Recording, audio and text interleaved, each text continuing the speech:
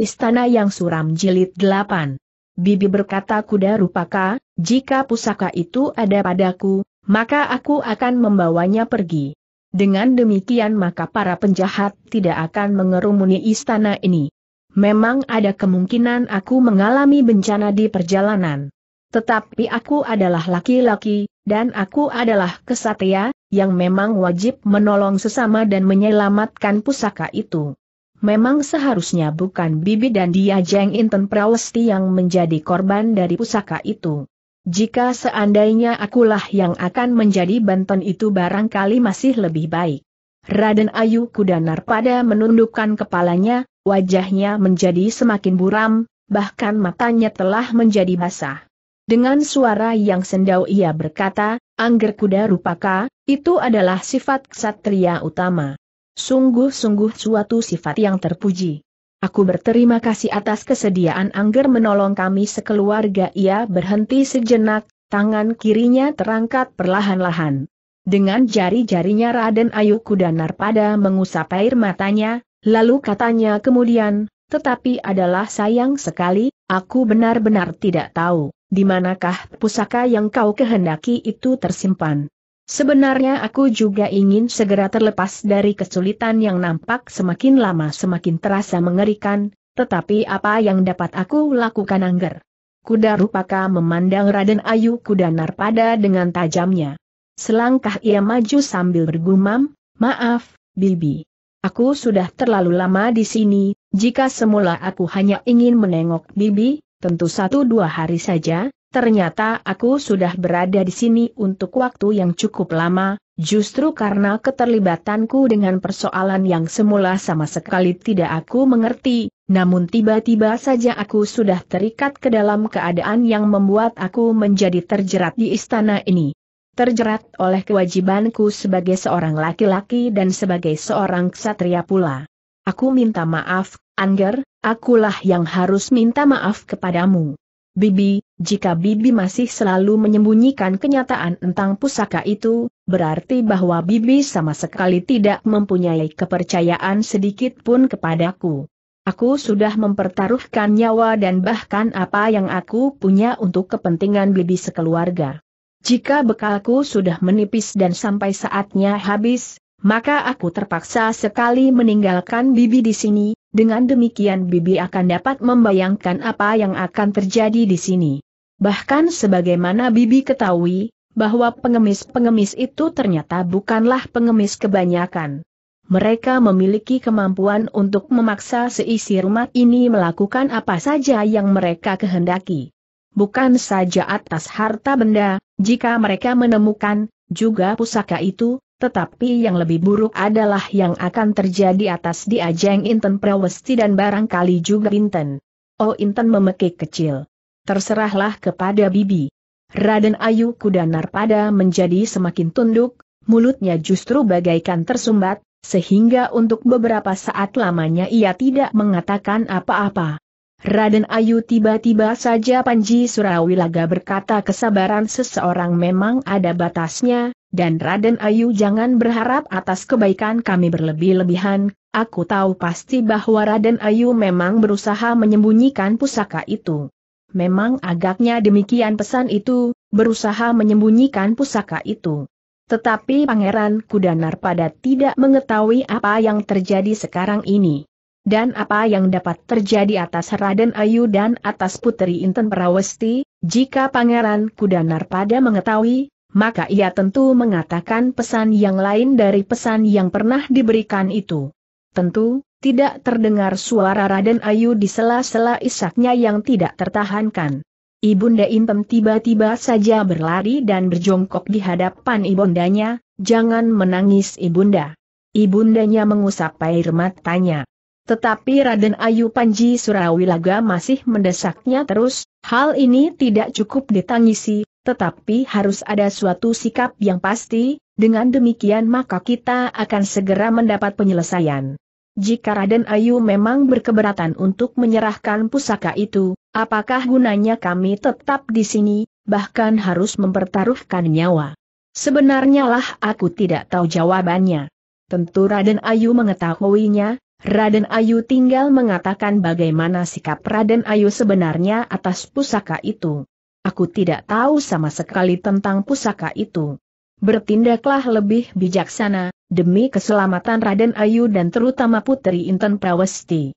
Aku tidak tahu, aku tidak tahu. Isak Raden Ayu Kudanar pada semakin memepatkan jantungnya. Tetapi agaknya Panji Surawilaga tidak menghiraukannya, juga ketika Inten Prawesti menangis pula sambil memeluk ibundanya. Bahkan ia pun kemudian maju setapak sambil berkata, Raden Ayu Kudanar pada yang setia kepada pesan suaminya, kami berbangga melihat kesetiaan itu, tetapi kami menjadi sangat cemas melihat nasib Raden Ayu dan putri ia berhenti sejenak, wajahnya menjadi tegang. Raden Ayu, apakah kami harus mencari sendiri dengan membongkar istana ini?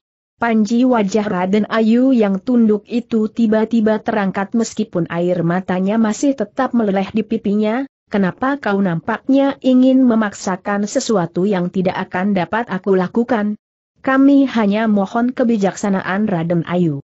Kami sudah terlalu lama berada di sini, sedangkan kami tidak sampai hati meninggalkan keluarga ini dalam keadaan seperti sekarang ini, jika kami memaksa pergi juga, maka untuk waktu yang lama kami akan tetap dipengaruhi oleh perasaan bersalah, karena kami meninggalkan Raden Ayu sekeluarga tanpa bertanggung jawab sebagai seorang ksatria. Apalagi apabila kelak kami mendengar berita bahwa Raden Ayu telah mengalami bencana.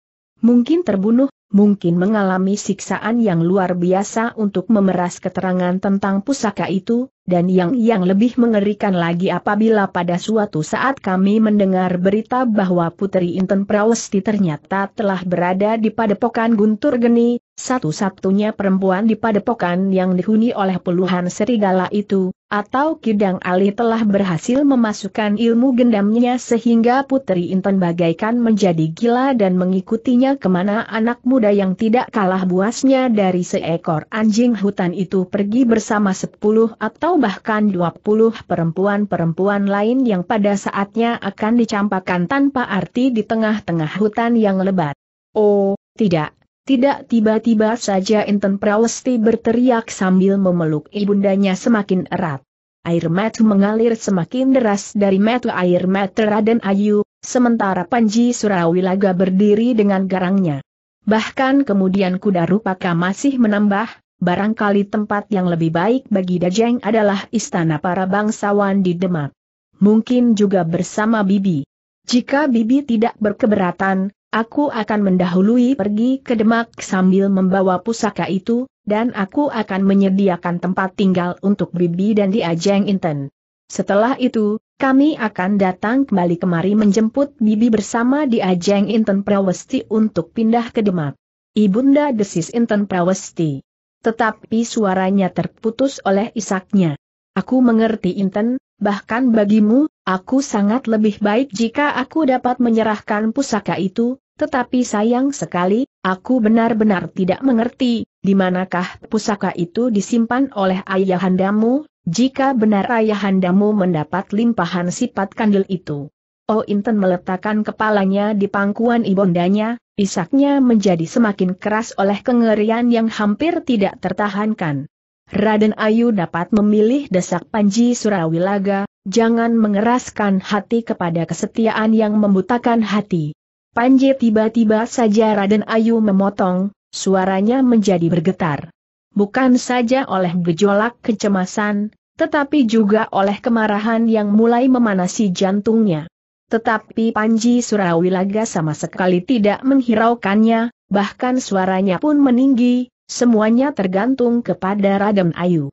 Keselamatan dan bencana yang dapat menimpa Putri Inten Prawesti tergantung kepada keputusan yang akan Raden Ayu ucapkan. Raden Ayu Kudanar pada menjadi semakin gemetar, apalagi ketika Panji Surawilaga berkata, aku akan tetap di sini menunggu keputusan Raden Ayu. Apakah kami harus membawa pusaka itu ke Demak atau kami harus pergi dengan gelisah, karena kami tidak tahu nasib yang akan menimpa istana ini, atau kami mengambil jalan lain, mencari sendiri ke dalam istana ini ia berhenti sejenak, lalu, terserahlah kepada Raden Ayu, kami akan menunggu di dalam bilik ini, meskipun tiga hari tiga malam. Opinten tiba-tiba terpekik kecil, tiga hari tiga malam, dan Raden berdua tidak makan? Diam, diam kau, atau kau pergi dari bilik ini. Kau tidak usah ikut campur persoalan yang sama sekali tidak kau ketahui. Pinten termangu-mangu, tetapi ia tidak beranjak dari tempatnya, sehingga Panji Surawilaga yang marah membentaknya keras-keras, pergi, pergi. Namun sebelum Pinten bangkit, tiba-tiba saja Sangkan telah berdiri di muka pintu dengan wajah yang pucat. Anak gila geram Panji Surawilaga, apa kerjamu di situ, hi? Ampun Raden Ayu, aku hanya disuruh oleh Panon untuk memohon agar Raden Ayu hadir di Serambi. Kenapa bertanya kuda rupaka? Ternyata atap sudah terlalu rusak, sedangkan kita tidak mempunyai lagi bahan yang dapat dipasang. Panon ingin memasang juluk melinjo untuk menyulami atap, jika Raden Ayu berkenan. Karena itu, Panon mohon Raden Ayu untuk melihatnya, ia tidak berani langsung menyampaikannya kepada Raden Ayu. Gila, gila. Kami sedang membicarakan persoalan yang jauh lebih berharga dari juluk melinjo teriak kuda rupaka. Mungkin Raden, tetapi, tetapi Panon mohon Raden Ayu untuk segera datang. Pergi, pergi. Atau aku akan mencekikmu sampai mati sahut Panji Surawilaga, sudah lama aku ingin membunuhmu. Agaknya sekarang kesempatan itu datang. Tetapi, tetapi bukan aku sendirilah yang berniat mengganggu Raden Panji. Aku tidak peduli Panji Surawilaga yang marah melangkah dengan tergesa-gesa mendekati sangkan yang ketakutan. Bahkan Pinten telah meloncat berdiri sambil memekik, jangan, jangan. Tetapi Panji Surawilaga tidak menghiraukannya. Ia telah menjulurkan tangannya ke arah sangkan yang dengan gemetar melangkah surut sampai ke tindak pintu. Jangan, jangan teriak Pinten dan bahkan Inten pun kemudian berdesis pula, tidak, Jangan Paman Panji. Tetapi Panji Surawilaga yang memang sudah lama membenci Sangkan tidak berhenti. Ia maju selangkah lagi, sehingga tangannya benar-benar hampir mencengkam leher Sangkan. Raden Kuda Rupaka berdiri termangu-mangu.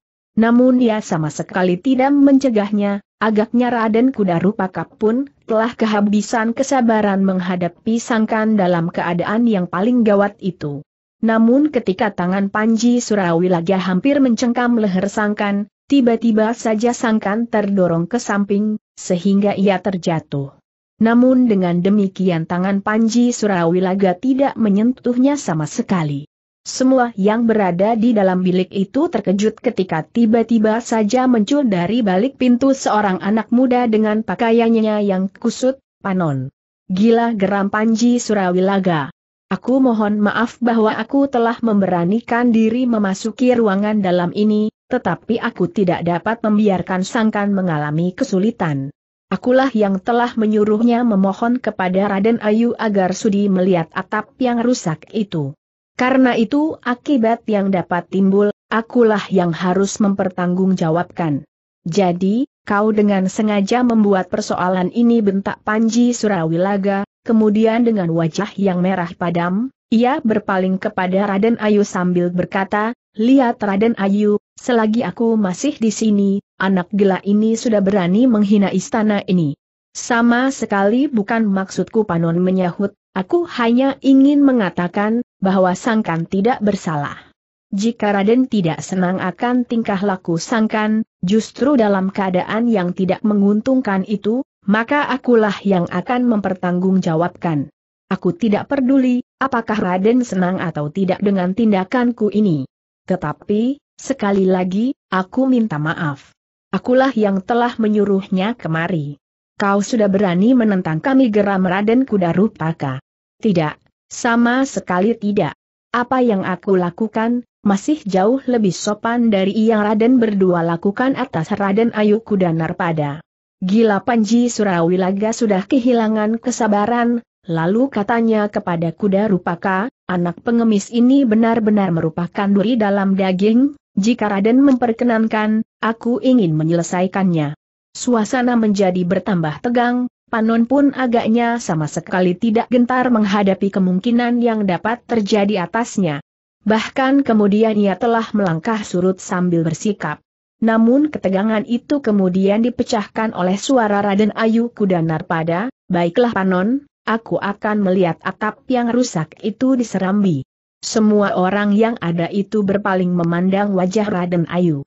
Betapa tegangnya wajah Panji Surawilaga dan Raden Kuda Rupaka. Namun mereka bagaikan patung memandang Raden Ayu itu bangkit. Kemudian perlahan-lahan melangkah maju sambil membimbing putrinya. Tunjukkan kepada kami, Panon. Panon melangkah surut beberapa langkah, ketika Raden Ayu keluar dari biliknya, sekilas dipandangnya wajah kuda Rupaka dan Panji Surawilaga yang seakan-akan menjadi merah membara. Tetapi nampaknya keduanya tidak akan dapat berbuat apa-apa. Dalam pada itu, Pinten dan Sangkan berlari-lari mengikuti Raden Ayu tanpa berani berpaling sama sekali. Apalagi ketika mereka sadar, bahwa kedua orang itu ikut melangkah keluar bilik itu pula. Di luar pintu Raden Kuda Rupaka dan Panji Surawilaga saling berpandangan sejenak ketika mereka melihat di luar pintu butulan Kimina duduk di tangga. Ia beringsut dan kemudian bangkit berdiri sambil bergeser selangkah. Gila geram Panji Surawilaga meskipun tertahan di mulutnya, lalu katanya, Raden, Nampaknya keduanya memang sudah mempersiapkan diri untuk dengan terang-terangan melawan kita. Apa boleh buat, jika Bibi masih memanjakan pengemis-pengemis itu, maka kita harus mengambil tindakan. Aku tidak sabar lagi, kedua pengemis itu harus dibinasakan.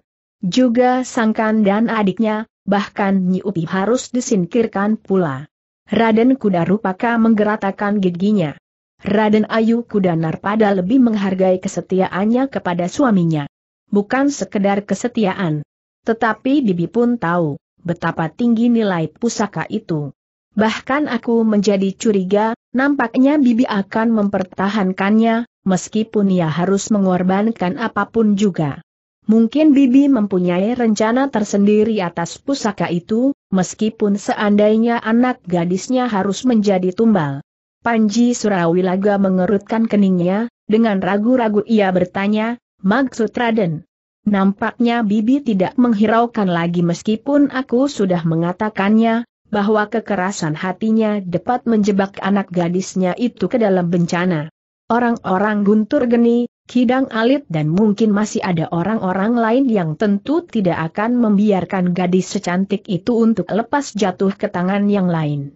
Selain pusaka, maka mereka tentu akan membawa gadis itu pula. Tetapi jika pusaka itu sudah loncat dari istana ini, maka perhatian mereka tentu tidak akan tertuju lagi kepada istana itu dengan segala penghuninya. Orang-orang itu tentu akan saling berkejaran memperebutkan pusaka yang bagi mereka tentu dianggap lebih tinggi nilainya dari gadis yang paling cantik sekalipun. Wajah Panji Surawilaga menjadi semakin tegang, dengan ragu-ragu ia bertanya kepada kuda Rupaka, aku belum mengerti maksud Raden yang sesungguhnya. Paman, bagi kita, pusaka itu pun merupakan harapan bagi masa depan kita, sehingga tentu saja bagi kita nilainya melampaui apa pun juga. Apakah itu berarti bahwa Raden sudah bertekad untuk mendapatkan pusaka itu dengan care apa pun juga? Kuda Rupaka menarik nafas dalam-dalam. Meskipun Raden Kuda Rupaka tidak menjawab, namun Panji Surawilaga seakan-akan dapat membaca kata hatinya, agaknya Kuda Rupaka benar-benar sudah tidak mempunyai pilihan lain. Paman, selama ini kita memerlukan pusaka itu, seakan-akan sekedar ingin membebaskan diri dari Diajeng Inten Prawesti dari kesulitan. Tetapi baiklah, sejak saat ini kita memilih keputusan yang paling baik buat kita dan buat hari depan. Apakah itu berarti kita harus memilih antara pusaka itu dan Raden Ayu Kuda Narpada? Mungkin berkata Kuda Rupaka meskipun nampak keragu-raguan di wajahnya, meskipun dengan demikian, sikap kita telah berubah sama sekali. Bukankah dengan demikian kita menemukan diri kita sendiri? Yang penting bagi kita justru pusaka itu, meskipun kita terpaksa mencelakai seseorang. Kuda Rupaka tertegun, sejenak ia berdiri termangu-mangu. Bibinya, diikuti oleh beberapa orang akan pergi ke Serambi, termasuk Panon. Sedangkan Kimina sudah tidak nampak lagi di telan sudut ruangan. Panji Surawilaga pun berhenti pula, sejenak ia memandang wajah kuda Rupaka. Ia mengerutkan keningnya ketika tiba-tiba saja ia melihat kuda Rupaka tertawa. Tertawa berkepanjangan sehingga semakin lama menjadi semakin keras. Raden Panji Surawilaga memperingatkannya ketika ia melihat Sangkan menjengukkan kepalanya dari sudut ruangan dengan heran. Tetapi suara tertawa itu masih saja bergema, meskipun kemudian kuda rupaka itu pergi meninggalkan ruangan diikuti oleh Panji Surawilaga. Sangkan masih berdiri termangu-mangu. Ia melihat perbedaan sikap pada kuda rupaka, meskipun kuda rupaka sering tertawa keras-keras, tetapi nadanya tidak sekasar suara tertawa yang baru saja didengarnya. Nampak kening sangkan itu pun berkerut-merut. Bahkan kemudian ia mengusap dagunya beberapa kali sambil mengangguk-angguk, seolah-olah ia menemukan sesuatu yang penting. Kau lihat siapa yang tertawa itu kakang tiba-tiba Pinten telah berdiri di belakangnya. Raden Kuda Rupaka. Ya, suaranya adalah suara Raden Kuda Rupaka, tetapi sikapnya terasa aneh. Raden Ayu Kudanar pada nampaknya menjadi ngeri pula mendengarnya. Sangkan menarik nafas dalam-dalam, sambil menggeleng ia menjawab, aku pun menjadi heran, Pinten. Kenapa tiba-tiba saja Raden Kudarupaka seolah-olah telah berubah sifatnya? Apakah ia teramat kecewa karena Raden Ayu tidak mau menunjukkan pusaka itu kepadanya? Pinten memandang Sangkan dengan tajamnya, nampak mata sorot matanya sepercik cahaya yang lain. Kau cemas bertanya Sangkan. Mudah-mudahan tidak menimbulkan bencana pada Raden Ayu dan putrinya, mereka sudah cukup menderita. Panon ada di sini. Agaknya ia akan dapat menjadi pihak yang menimbulkan keseganan pada Raden Kuda Rupaka, betapapun kemarahan itu mencengkam jantungnya. Pinten mengangguk-angguk, desisnya, mudah-mudahan tidak terjadi sesuatu, kemarahan yang tidak terkendali, memang dapat membakar hati. Sangkan tidak menjawab, ia pun kemudian melangkah meninggalkan sudut ruang itu dan menyusul Raden Ayu ke Serambi. Di Serambi Panon sedang sibuk memperbaiki atap yang berlubang dengan juluk batang melinjo, karena tidak ada bahan yang lebih baik yang dapat dipergunakan. Sangkan menarik nafas dalam-dalam, Ternyata istana kecil itu pun telah benar-benar menjadi semakin suram, tetapi bangunan istana itu sendiri semakin lama menjadi semakin rusak meskipun di saat-saat terakhir ada usaha untuk memperbaiki dan menyulam dengan bahan-bahan yang lebih sederhana. Dalam pada itu di ruang depan, Raden Kudarupaka menghentakkan kakinya sambil menggerutu, kedua pengemis itu harus disingkirkan lebih dahulu. Kita tidak usah menunggu, sekarang kita dapat melakukannya, Raden. Kuda Rupaka menggelengkan kepakainya sambil berkata, tidak, tidak semudah itu, kita sudah pernah melihat bagaimana ia bertempur melawan orang-orang guntur geni. Nampaknya mereka sama sekali tidak gentar menghadapi orang-orang guntur geni dan menghadapi semua persoalan yang dapat berkembang di sini. Bahkan nampaknya mereka mempunyai pengenalan yang baik terhadap lawan-lawannya.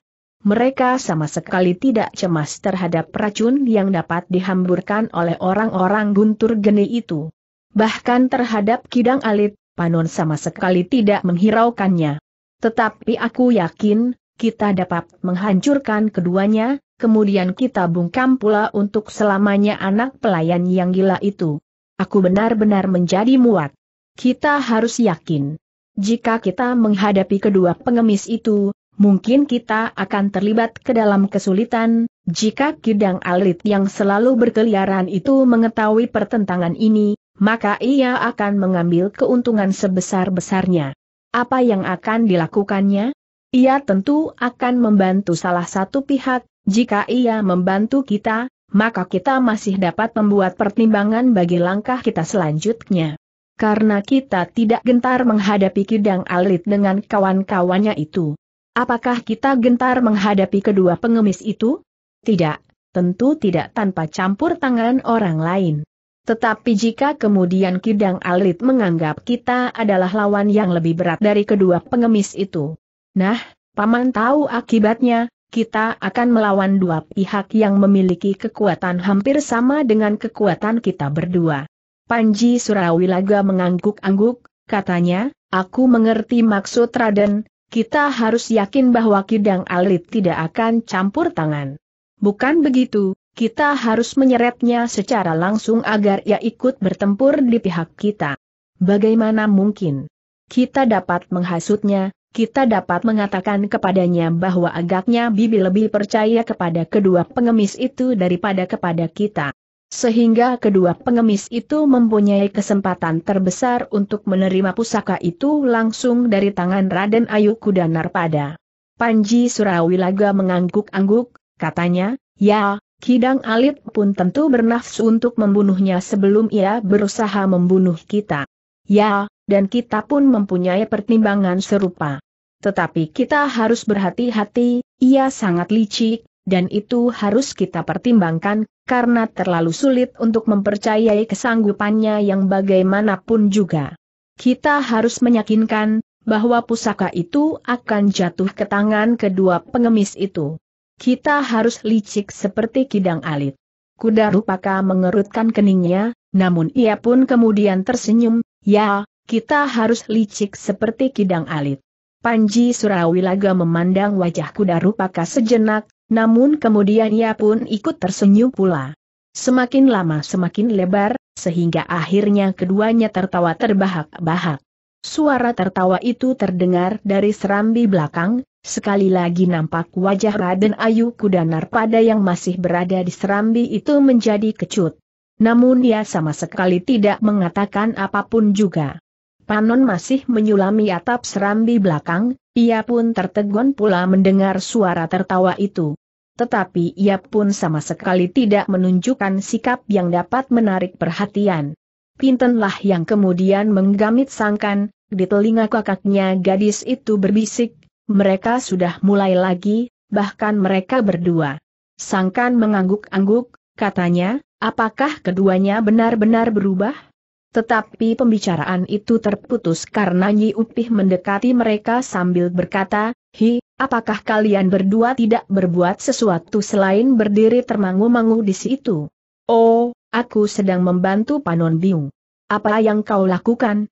Jika ia memerlukan sesuatu, aku akan mengambilnya, mungkin julup batang melinjo yang sudah aku keringkan di belakang, mungkin tali serat atau yang lain. Siapa yang mengeringkan julup batang melinjo di belakang bertanya Pinten tiba-tiba.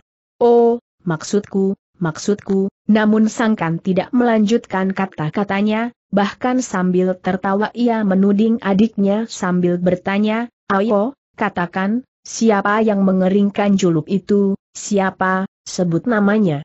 Wajah Pinten menjadi merah, tiba-tiba tangannya terjulur ke tangan Sangkan, tanpa dapat mengelak lagi, maka tangan Sangkan bagaikan disengat lebah.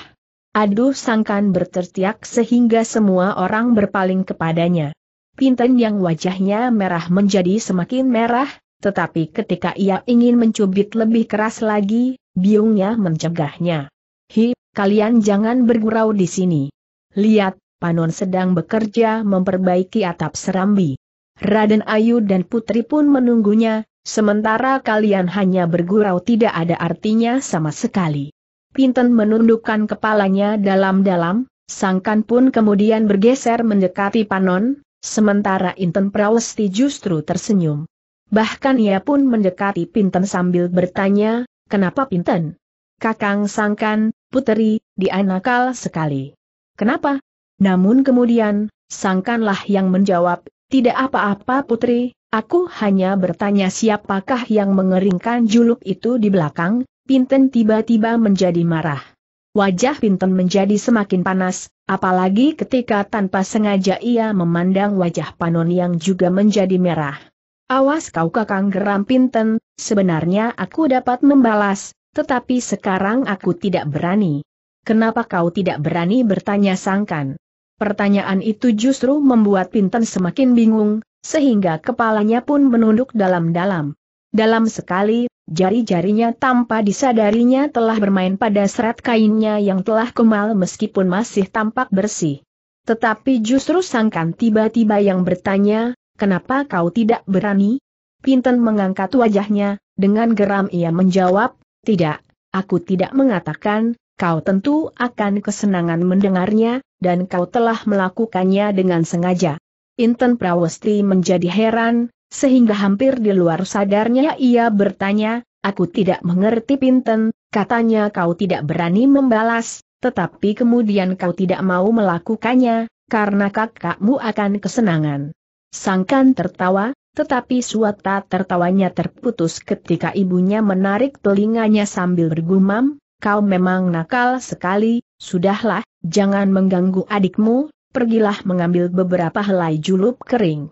Raden Ayu Kudanar pada tersenyum meskipun di hatinya masih bergejolak kegelisahan yang tidak ada taranya. Kedua anak Nyi Upi itu seolah-olah tidak mengerti, apakah yang sebenarnya yang sedang terjadi, namun demikian tingkah laku mereka dapat memberikan sedikit selingan di dalam kegelisahan yang semakin memuncak.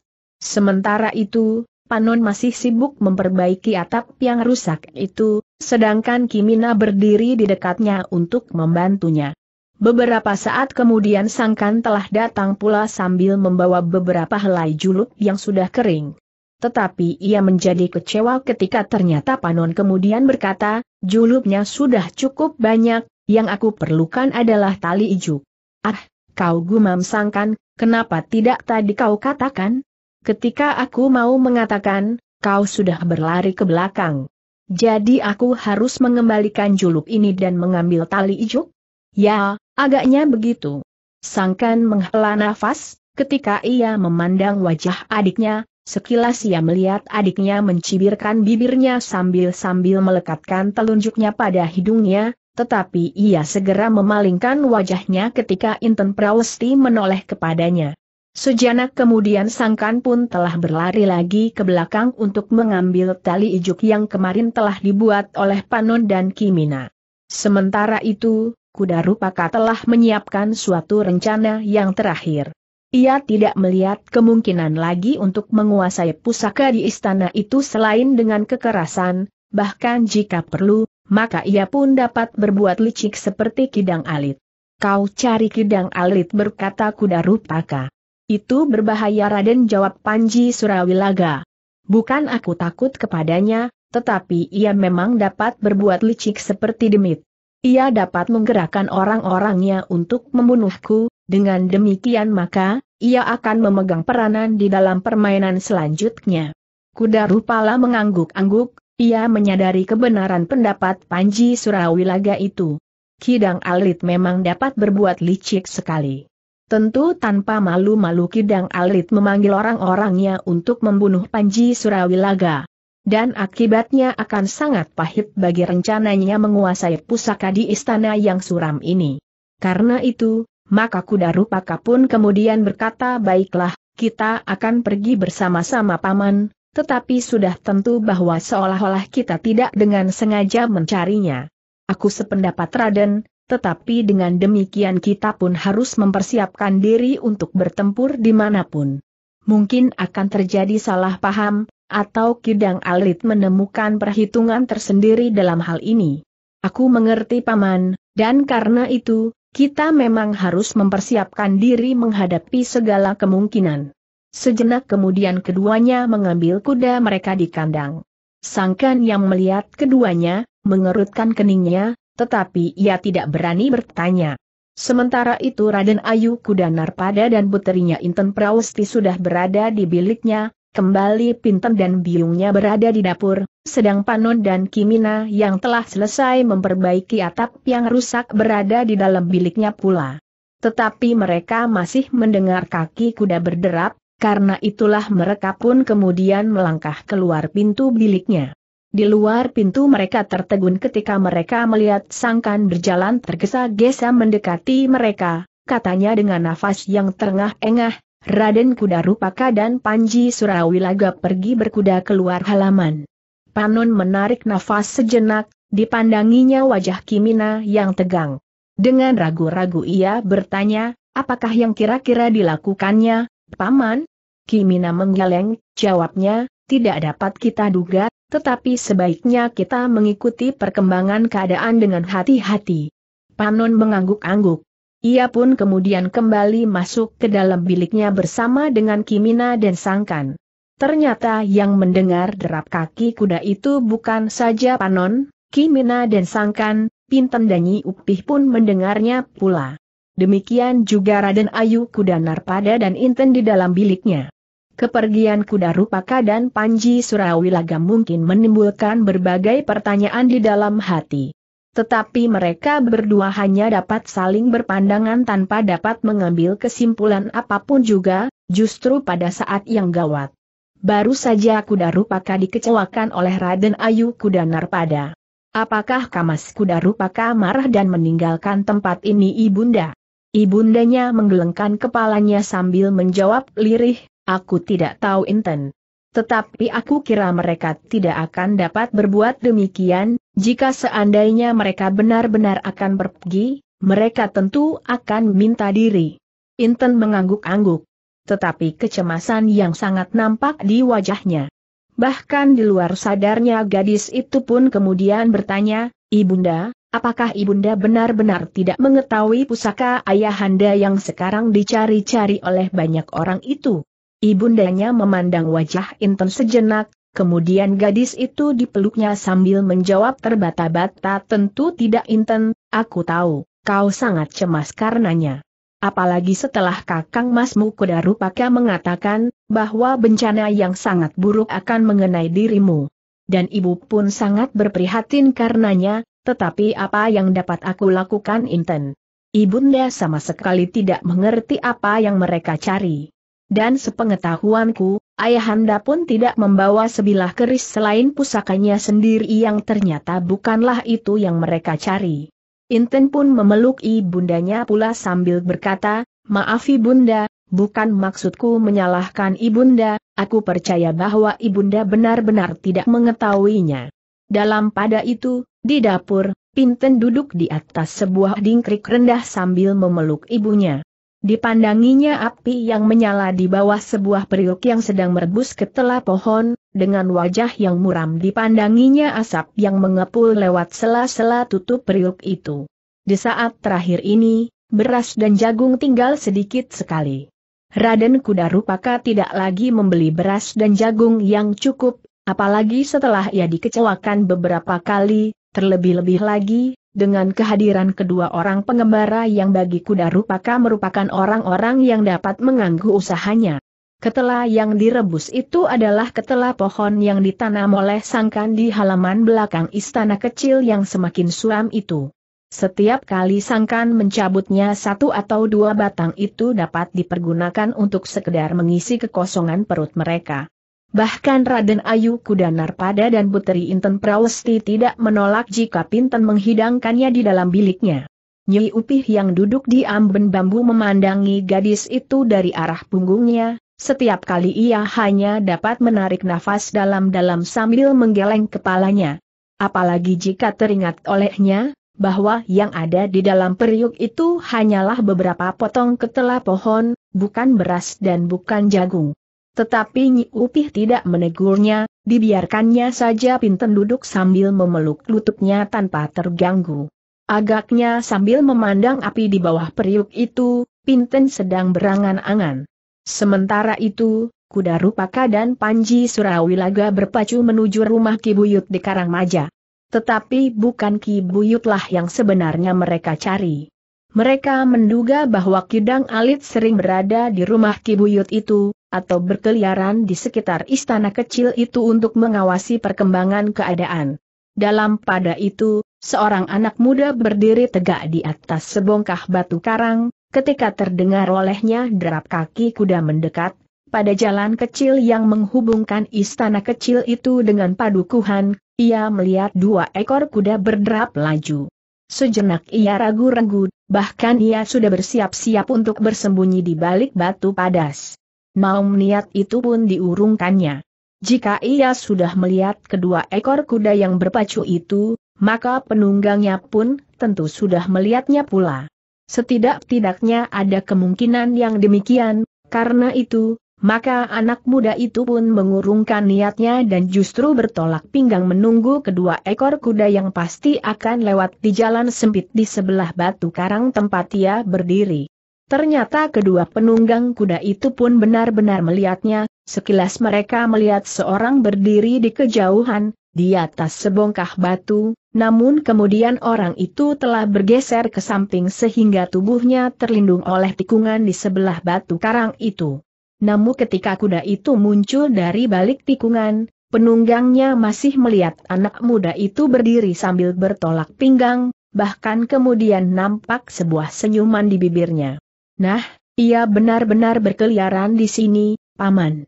Nampaknya ia hanya seorang diri, Raden. Ya, tetapi siapa tahu, karena itulah kita harus berhati-hati. Demikian keduanya mendekati anak muda yang berdiri di atas batu karang itu, kuda Rupaka dan Panji Surawilaga menarik kekang kudanya, sehingga kedua ekor kuda itu pun segera berhenti.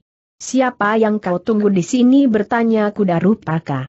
Anak muda itu tersenyum, katanya, kalian tentu sedang membicarakan aku, begitu kalian muncul di tikungan. Dari mana kau tahu? Sudah tentu aku tahu karena aku mempunyai aji sabta pangrungu. Kuda Rupaka mengerutkan keningnya, namun ia pun kemudian tertawa berkepanjangan, katanya di sela-sela suara tertawanya, jangan menakut-nakuti aku seperti menakut-nakuti anak kecil, kau sangka aji sabta pangrungu itu mudah disadap jika kau benar-benar mempunyai aji itu, maka kau tentu mengetahui apa yang aku katakan kalimat demi kalimat dan kata demi kata. Kidang Ali tersenyum, katanya, apakah perlu demikian? Tidak, aku tahu, kau berbohong, dan kau memang sering sekali berbohong meskipun aku percaya kau memiliki ilmu yang tinggi. Selain ilmu kanuragan, kau juga mempunyai ilmu gendam, ilmu sirep dan barangkali bermacam-macam ilmu yang lain, tetapi tidak aji sabta pangrungu, sabta peninggal dan sabta pangrasa. Kidang Alit mengerutkan keningnya, namun ia pun tertawa, katanya, aku sudah mempelajari, tetapi memang tidak semudah yang aku duga semula. Apalagi kini terhenti untuk beberapa saat karena aku harus menunggui istana kecil itu dan menunggu kalian berdua. Kuda Rupaka mengerutkan keningnya, lalu katanya, jika kau sekarang baru mulai, maka ilmu itu akan kau kuasai lima tahun yang akan datang, dan itu berarti bahwa semuanya sudah terlambat. Kidang Ali tertawa, jawabnya, aku tidak pernah merasa terlambat. Panji Surawilaga yang termangu-mangu itu pun kemudian berkata, kita tidak ada gunanya berbicara terlalu banyak. Kidang Alit mengerutkan dahinya, dengan ragu-ragu ia bertanya, apa maksudmu? Kuda Rupakalah yang menjawab, aku akan pergi ke rumah Kibuyut, aku akan mencari tempat untuk menyingkirkan kedua pengemis itu dari istana itu. Kenapa? Mereka merupakan orang yang paling aku benci, aku muak melihat mereka bermalas-malas tetapi makan tanpa henti-hentinya. Tetapi mereka adalah orang-orang yang memiliki kemampuan yang tangguh sehingga mereka dapat kau ajak untuk mempertahankan istana kecil itu. Mungkin dari orang-orang guntur geni, tetapi mungkin pula orang-orangku. Mereka adalah orang-orang yang berbahaya, aku tidak percaya kepada mereka seperti aku tidak akan dapat mempercayaimu. Apalagi kehadiran mereka sangat membahayakan keselamatan Bibi dan pusaka yang tersembunyi itu, apalagi Bibi sama sekali tidak tahu bahwa keduanya adalah orang-orang yang sangat berbahaya. Kenapa keduanya diizinkan masuk? Bibi senang mendengar salah seorang dari keduanya berdendang kidung yang dibawakan memang memiliki kekuatan khusus untuk mencengkam perasaan.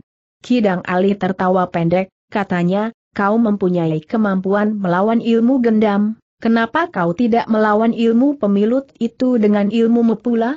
Tidak, ia sama sekali tidak mempergunakan ilmu apa pun, tetapi lagu yang selalu dinyanyikan memang menarik, aku pun senang mendengarnya, dan Bibi adalah seorang perempuan yang terlalu baik dan pengiba. Itulah kesalahannya. Kenapa tidak kau bunuh saja keduanya? Kuda Rupaka nampak ragu-ragu, namun kemudian katanya, aku ragu-ragu, keduanya memiliki ilmu yang cukup tangguh, sehingga aku tidak yakin bahwa aku dapat melakukannya tanpa diketahui oleh Bibi. Apalagi nampaknya Bibi sangat terpengaruh oleh keduanya, sekarang mereka lebih dekat dengan Bibi daripada aku dan Paman Panji. Suara tertawa Kidang Alit meledak tanpa tertahankan lagi, sambil tertawa terbahak-bahak ia berkata yang justru tidak begitu jelas, kenapa kau merajuk, aku tidak menyangka bahwa seorang anak jantan seperti Raden Kuda Rupaka masih sempat merajuk seperti gadis menjelang kawin. Kuda Rupaka menjadi tegang, bahkan Panji Surawilaga kemudian membentaknya, jangan gila, kau dengar penjelasannya. Kidang Alit mencoba menahan suata tertawanya itu, sambil mengangguk-angguk ia berkata, baiklah aku akan mendengarkannya. Kidang Alit berkata kuda rupaka, aku tidak dapat melukai hati Bibi dengan membunuh keduanya di hadapan Bibi, atau katakanlah bahwa Bibi sempat melihat kami bertengkar, Aku memang mengakui bahwa untuk membunuhnya diperlukan waktu yang agak panjang. Kidang Alit memandang kuda rupaka dengan pandangan mata yang khusus, bahkan dengan senyum yang yang kecut ia berkata, aku tahu maksudmu, kau ingin aku membunuhnya di luar halaman istana. Kuda rupaka memandang Kidang Alit sejenak, lalu, belum tentu hal itu dapat dilakukan, jika ia menolak untuk tinggal di padukuhan, maka ia akan tetap tinggal di istana. Oh, kau ingin aku membantumu membunuhnya dalam waktu yang singkat, sehingga Raden Ayu Kudanar pada tidak sempat melihat perkelahian itu ia berhenti sejenak, lalu, tetapi bagaimanapun juga, Raden Ayu akan tahu, bahwa Panon dan Kimina telah hilang dari halaman istananya. Jika kemudian hal itu diketahuinya pula, apa boleh buat? Kidang Ali termenung sejenak, Lalu katanya, kau tentu mempunyai perhitungan, bahwa melawan mereka adalah lebih berat dari melawan aku dan kawan-kawanku. Bukan maksudku, tetapi jika keadaan yang sebenarnya demikian, apa boleh buat? Yang penting bagiku kedua pengemis itu lenyap dari istana, karena mereka adalah orang-orang yang paling mungkin menerima titipan dari bibi. Kidang Alit mengangguk-angguk, namun katanya, biar sajalah mereka menerima puska itu, aku akan mengambilnya dari kedua pengemis itu, aku sama sekali tidak mempunyai perasaan segan atau semacam itu seandainya aku membunuh mereka di hadapan Raden Ayu, karena aku tidak terikat hubungan keluarga atau semacam itu. Panji Surawilaga menggeretakkan giginya, tetapi kuda rupaka menyahut, terserah kepadamu, aku akan pergi ke padukuhan dan tetap mencari tempat bagi kedua pengemis itu, mau tidak mau. Eh, tunggu dulu, Kidang Alit, tiba-tiba saja timbul pikiran baru di benakku, kenapa aku tidak memperalatnya saja lebih dahulu untuk membinasakanmu dan kawan-kawanmu. Kidang Alit menegang sejenak, lalu, kau boleh mencobanya, tetapi kau akan tetap terikat oleh hubungan keluarga antara kau dan bibimu itu. Seandainya kau berhasil membunuh aku, maka kau tidak akan dapat membunuh pengemis-pengemis itu di hadapan bibimu tanpa diketahuinya. Kuda Rupaka nempak berpikir sejenak. Lalu, menurut pikiranmu, yang manakah yang sebaiknya aku lakukan? Membunuhmu dibantu pengemis-pengemis itu atau membunuh pengemis-pengemis itu dengan bantuanmu agar yang kita lakukan tidak diketahui oleh Bibi. Seandainya diketahuinya pula, maka kesalahan itu sebagian besar akan dibebankan kepadamu. Kenapa aku? Kuda Rupaka tertawa, wajahnya bagaikan tenggelam dalam derai tertawanya yang berkepanjangan. Kenapa aku Kidang Alit mengulang? Tidak, Tentu tidak kuda rupaka menjawab di sela-sela tertawanya, tentu Bibi akan menyalahkan kita sama-sama, tetapi itu tidak penting. Yang penting, aku ingin mengurangi lawan, siapa pun mereka. Kau dengan anak muahmu atau pengemis-pengemis itu. Kidang Ali termenung sejenak, dipandanginya wajah Panji Surawilaga yang tegang, namun kemudian ia pun tersenyum, katanya, Sebenarnya kau tidak usah berbelit-belit Raden, aku tahu maksudmu yang sebenarnya, kau ingin mengajak aku dan kawan-kawanku membunuh kedua pengemis itu sebelum kita sendiri pada suatu saat akan saling berbunuhan. Aku pun tahu bahwa sebenarnya kau sudah tidak memperdulikan lagi bibimu itu.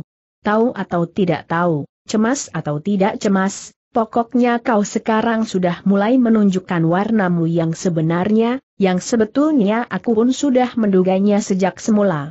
Kau sama sekali tidak datang ke istana itu karena kau merindukan bibimu, atau karena kau tahu bahwa bibimu hidup dalam kesepian dan kesulitan, tetapi semata-mata karena kau menginginkan pusaka itu.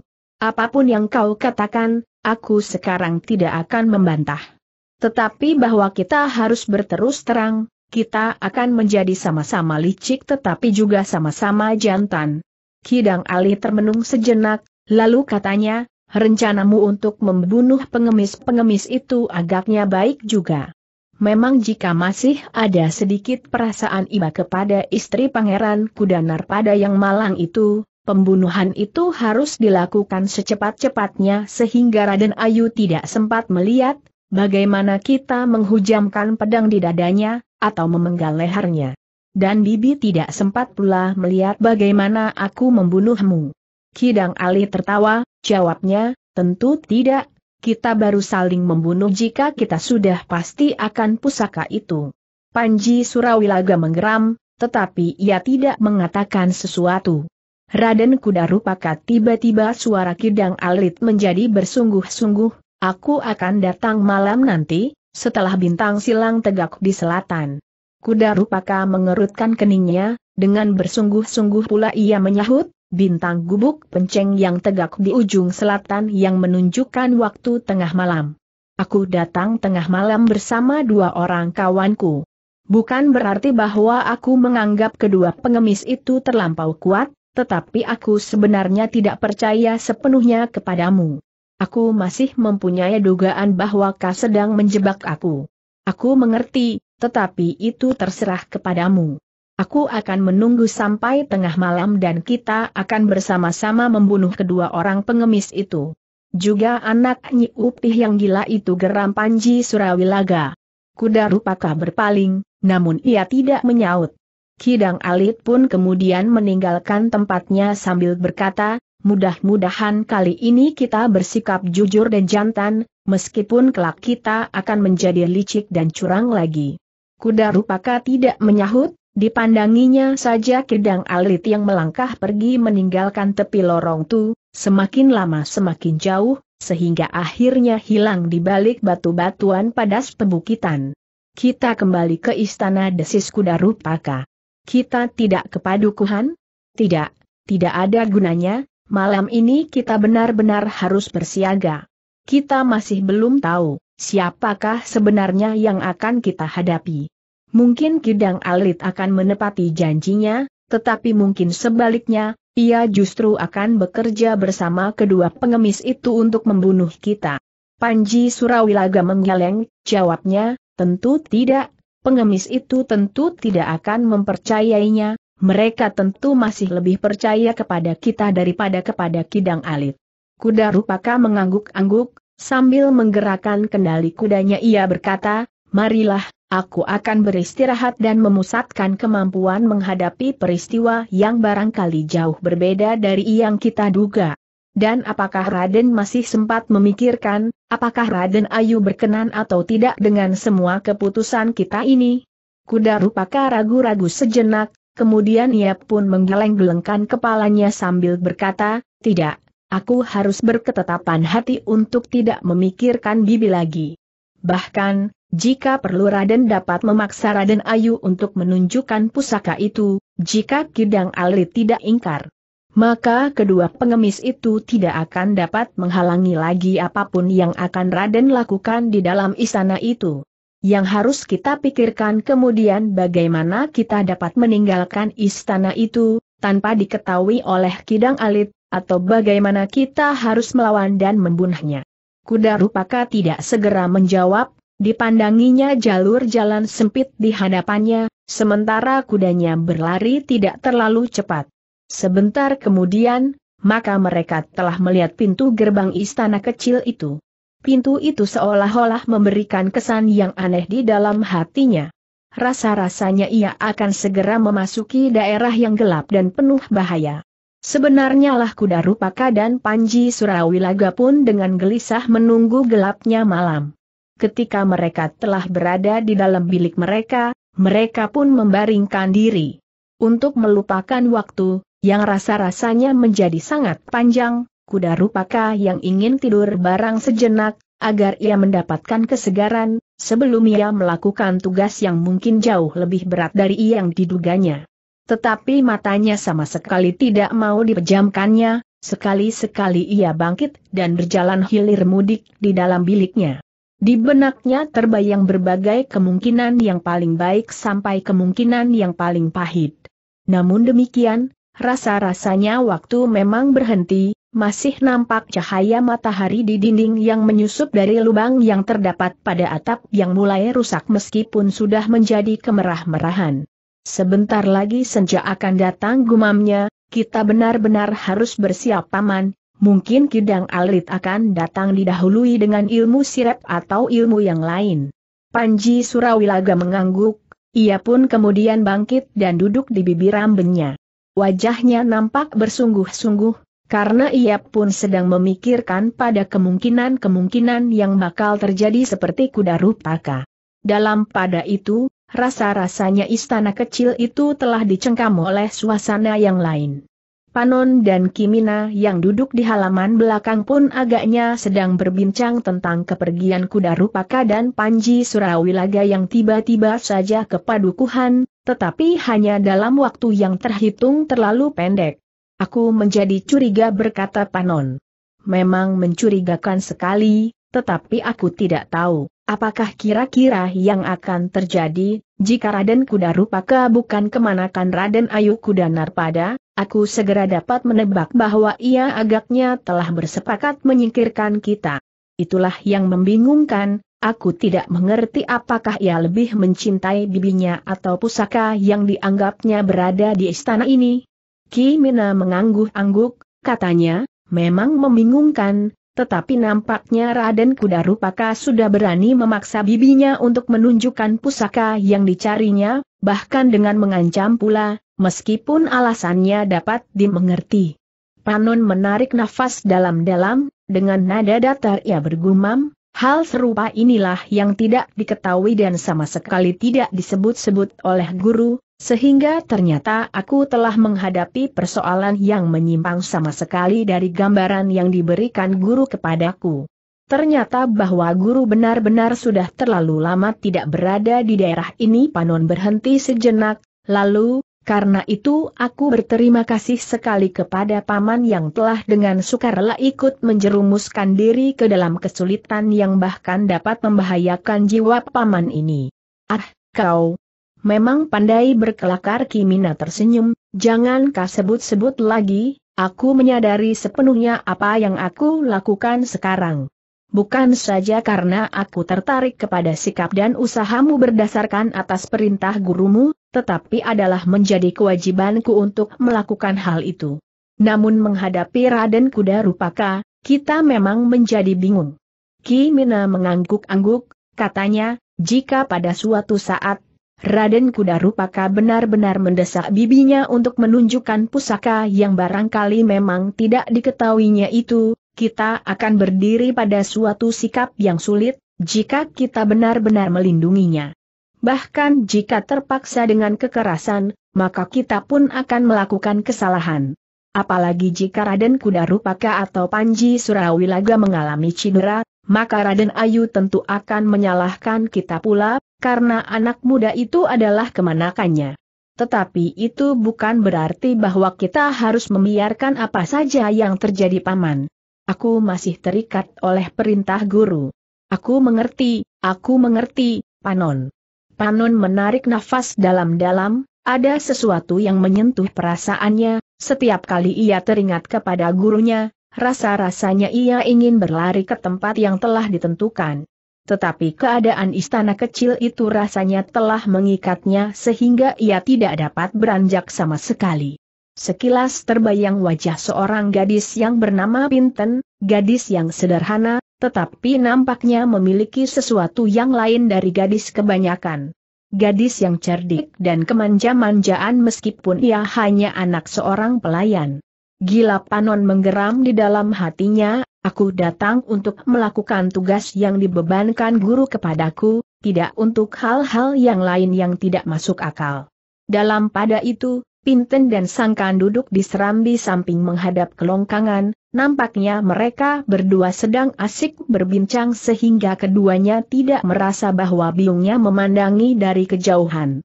Nyi Upih menarik nafas, dipandanginya kedua anaknya yang duduk di serambi itu, nampaknya mereka sedang berbicara dengan sungguh-sungguh, tidak seperti biasanya, mereka bergurau tidak henti-hentinya, kemudian bertengkar dan bahkan berkelahi. Nyi Upih merasakan sesuatu yang lain dalam hatinya, bahkan di luar sadarnya tangannya telah mengusap setitik air yang mengembun di pelupuknya. Kasihan anak-anak itu desisnya, hanya karena kematangan jiwanya saja mereka telah bersedia berada di tempat ini.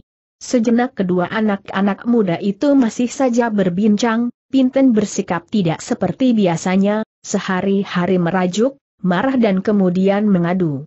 Tetapi nampaknya ia pun sedang berbicara dengan sungguh-sungguh seperti juga sangkan. Tetapi agaknya mereka terkejut ketika mereka mendengar Nyi Upih menyentuh daun pintu dapur. Serentak mereka berpaling, dilihatnya Nyi Upih berdiri termangu-mangu memandang mereka. Oh, marilah bingung berkata sangkan, kami sedang membicarakan sesuatu yang penting. Apa yang kalian bicarakan? Pinten mulai merasa dirinya menjelang dewasa. Hi tiba-tiba saja mata Pinten melotot dan sangkan meloncat berdiri. Kau sudah mulai lagi Kakang Pinten pun kemudian bangkit berdiri pula, maju selangkah demi selangkah. Jangan, jangan sangkan pun mundur sambil menyeringai, bahkan kemudian ia pun berputar di belakang bingungnya. Ah dasahnya upih, aku senang kalian berbicara dengan bersungguh-sungguh.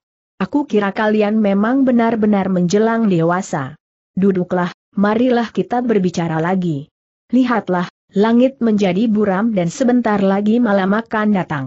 Kalau begitu, aku akan menyalakan lampu desis sangkan. Ya, nyalakanlah, biarlah Pinten tinggal di sini bersama aku.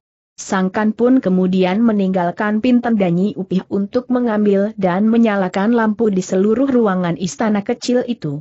Tetapi nampaknya jumlah lampu minyak itu pun semakin lama menjadi semakin berkurang, karena minyak kelapa menjadi semakin sedikit di persediaan. Apa saja yang kalian perbincangkan Pinten? Pinten memandang Nyi Upi sejenak, lalu katanya, Kakang Sangkan mengatakan bahwa keadaan menjadi semakin gawat, apakah benar Biung? Nyi Upih menarik nafas dalam-dalam. Kakang menjadi semakin takut tinggal di istana ini. Ak ah ah. Pinten memandang Yi Upih, tiba-tiba saja ia memeluknya sambil berkata, kami akan tinggal bersamamu Biung, apa pun yang akan terjadi, kami tidak akan lari dari mereka ini, juga Kakang Sangkan tidak. Titik air mata mulai mengembun lagi di mata Nyi Upih, namun kemudian ia tersenyum sambil berkata, terima kasih, aku sudah mengira bahwa kalian akan berbuat demikian. Sudahlah Biung, kita akan segera merapikan peralatan dapur, rasa-rasanya malam hari ini agak lain dari malam-malam sebelumnya, kita akan segera masuk dan mengawani Raden Ayu dan Puteri di dalam biliknya. Nyi Upih mengangguk-angguk, tetapi kemudian ia berkata, tetapi kawani aku dulu di Pakiwan. Pinten tersenyum, ketika ia memandang longkangan yang mulai gelap, rasa-rasanya sesuatu telah menyentuh perasaannya. Marilah biung. Nyi Upih mengusap matanya, ia pun kemudian pergi ke dapur merapikan barang-barang yang ada dan kemudian menutup pintunya setelah memadamkan lampu minyak kelapa yang berkeredipan seperti mata seorang gadis yang habis menangis. Di dalam bilik di ruang dalam pun rasanya keadaan menjadi sangat lengang, meskipun Raden Ayu dan Inten masih belum tidur, tetapi mereka hanya duduk saja di dalam biliknya hampir tanpa senuah pembicaraan apa pun. Baru ketika Pinten masuk bersama biungnya, maka Pinten dan Prawesti mulai bermain-main, yang dimainkan oleh mereka adalah permainan dakon. Raden Ayu memandang puterinya yang sedang bermain dengan tatapan mata yang suram.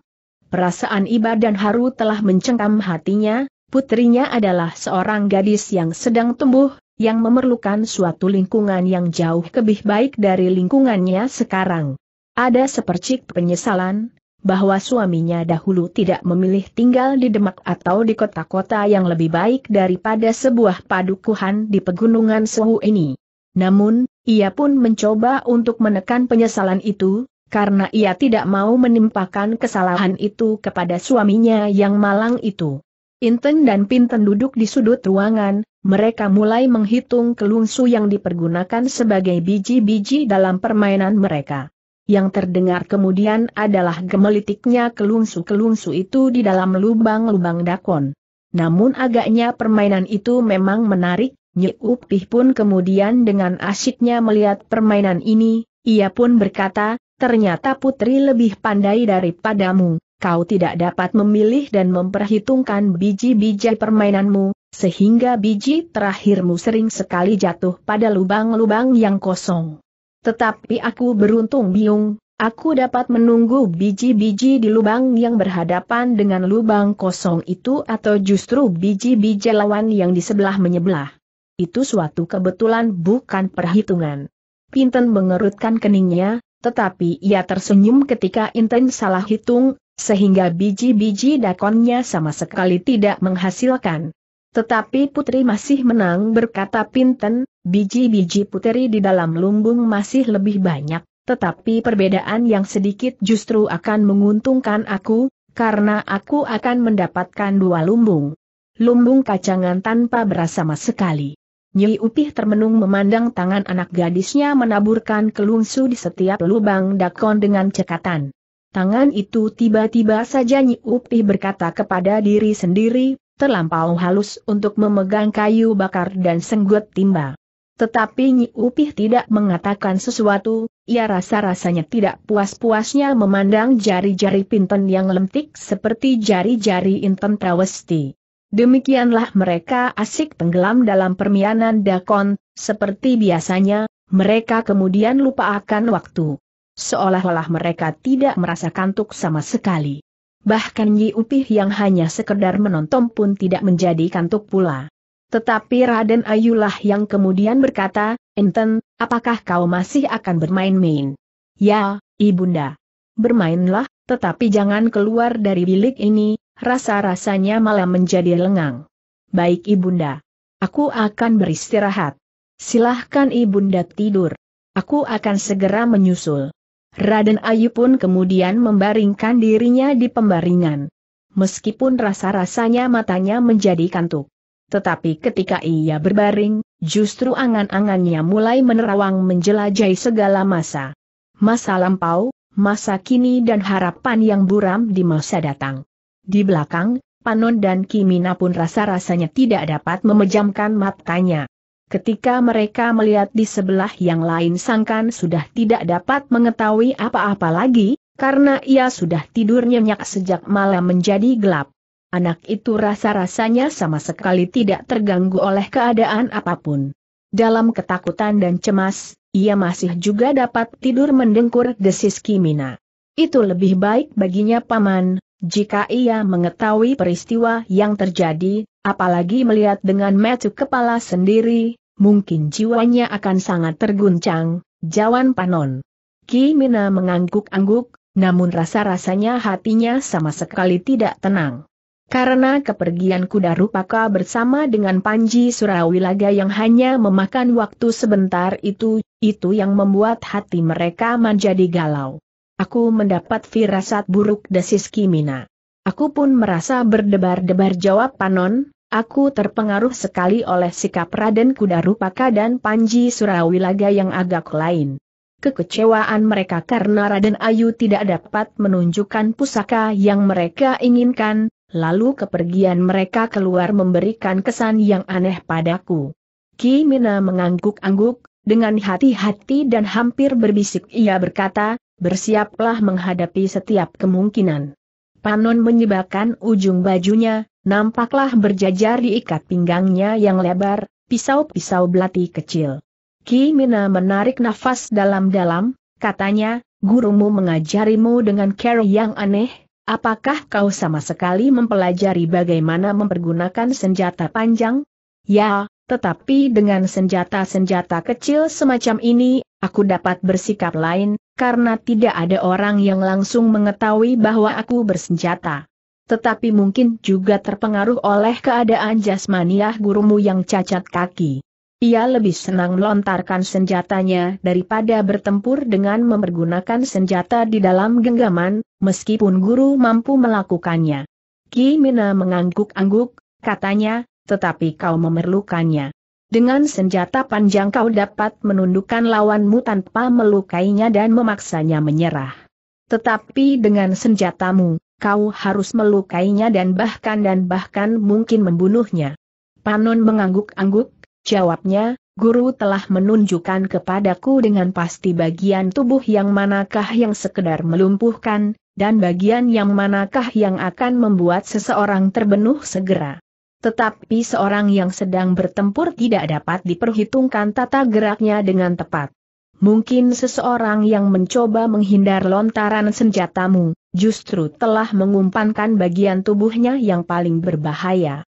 Tetapi aku sadar bahwa tentu memiliki kecepatan dan ketajaman bidik yang luar biasa. Ah, desis Panon, tetapi aku akan mencoba untuk mempergunakan senjata di dalam genggaman, mungkin akan berguna. Apakah yang dapat kau jika keadaan sekarang ini memaksa kita untuk melakukan perlawanan? Di dapur ada parang. Aku juga melihat kapak kecil pembelah kayu, mungkin aku dapat mempergunakannya, karena dalam pertempuran yang seru dan melawan ilmu yang tinggi kerisku agak terlampau ringkih, meskipun setiap goresan betapapun kecilnya berarti maut. Keduanya termenung sejenak, dan tiba-tiba saja berkata, aku akan mengambil parang dan kapak kecil itu, mungkin akan berguna. Tetapi ingat Panon, senjata yang dibuat dengan sengaja dan merupakan pusaka andalan, bahannya tentu bukan besi kebanyakan seperti parang pembelah kayu dan kapak kecil itu. Karena itu, jangan terkejut jika pada benturan senjata parangmu akan patah. Tentu, aku akan berusaha menghindarkan benturan langsung paman. Kimina tersenyum, katanya, ambillah, tetapi hati-hatilah. Panon pun kemudian pergi ke dapur yang sudah gelap, karena lampunya sudah dimatikan. Meskipun demikian, Panon menemukan sebuah parang yang besar dan sebuah kapak penebang pembelah kayu. Ketika ia menyerahkan kedua senjata itu kepada Kimina orang tua itu pun tersenyum, katanya, keduanya cukup memadai, tetapi ingat Panon, jika jiwamu terancam maka ilmu yang paling kau andalkan yang harus kau pergunakan. Jangan terikat oleh parang ini, karena pisau-pisaumu itulah sebenarnya senjatamu yang paling baik. Panon mengangguk-angguk, dengan demikian ia dapat menangkap apa yang tersirat di hati Kimina, seolah-olah sudah memastikan bahwa yang akan terjadi di malam ini adalah pertempuran, entah siapa yang harus dilawannya. Rasa-rasanya kita saling melakukan sesuatu yang aneh paman. Apa? Kita telah mempersiapkan diri untuk bertempur, tetapi kita tidak tahu pasti, siapakah lawan kita, Mungkin aku masih mencoba ingkar di hati, bahwa pada suatu saat kita memang akan berbenturan dengan Raden Kudarupaka dan Panji Surawilaga, karena mereka adalah keluarga Pangeran Kuda Narpada. Ki Mina mengangguk-angguk, katanya, kau benar Panon, tetapi yang kita lakukan sebenarnya adalah sekedar sikap berhati-hati atau barangkali hati kita terlampau kecut saja melihat perkembangan keadaan, namun, mungkin tidak akan terjadi apa pun juga. Panon tidak menyahut, namun pada wajahnya, keraguan-raguan yang sangat, seolah-olah ia telah dihadapkan pada pilihan yang serba salah. Jangan menyalahkan gurumu, Panon. Mungkin gurumu benar-benar tidak mengetahui apa yang telah terjadi sekarang di sini, karena ia berada di tempat yang jauh.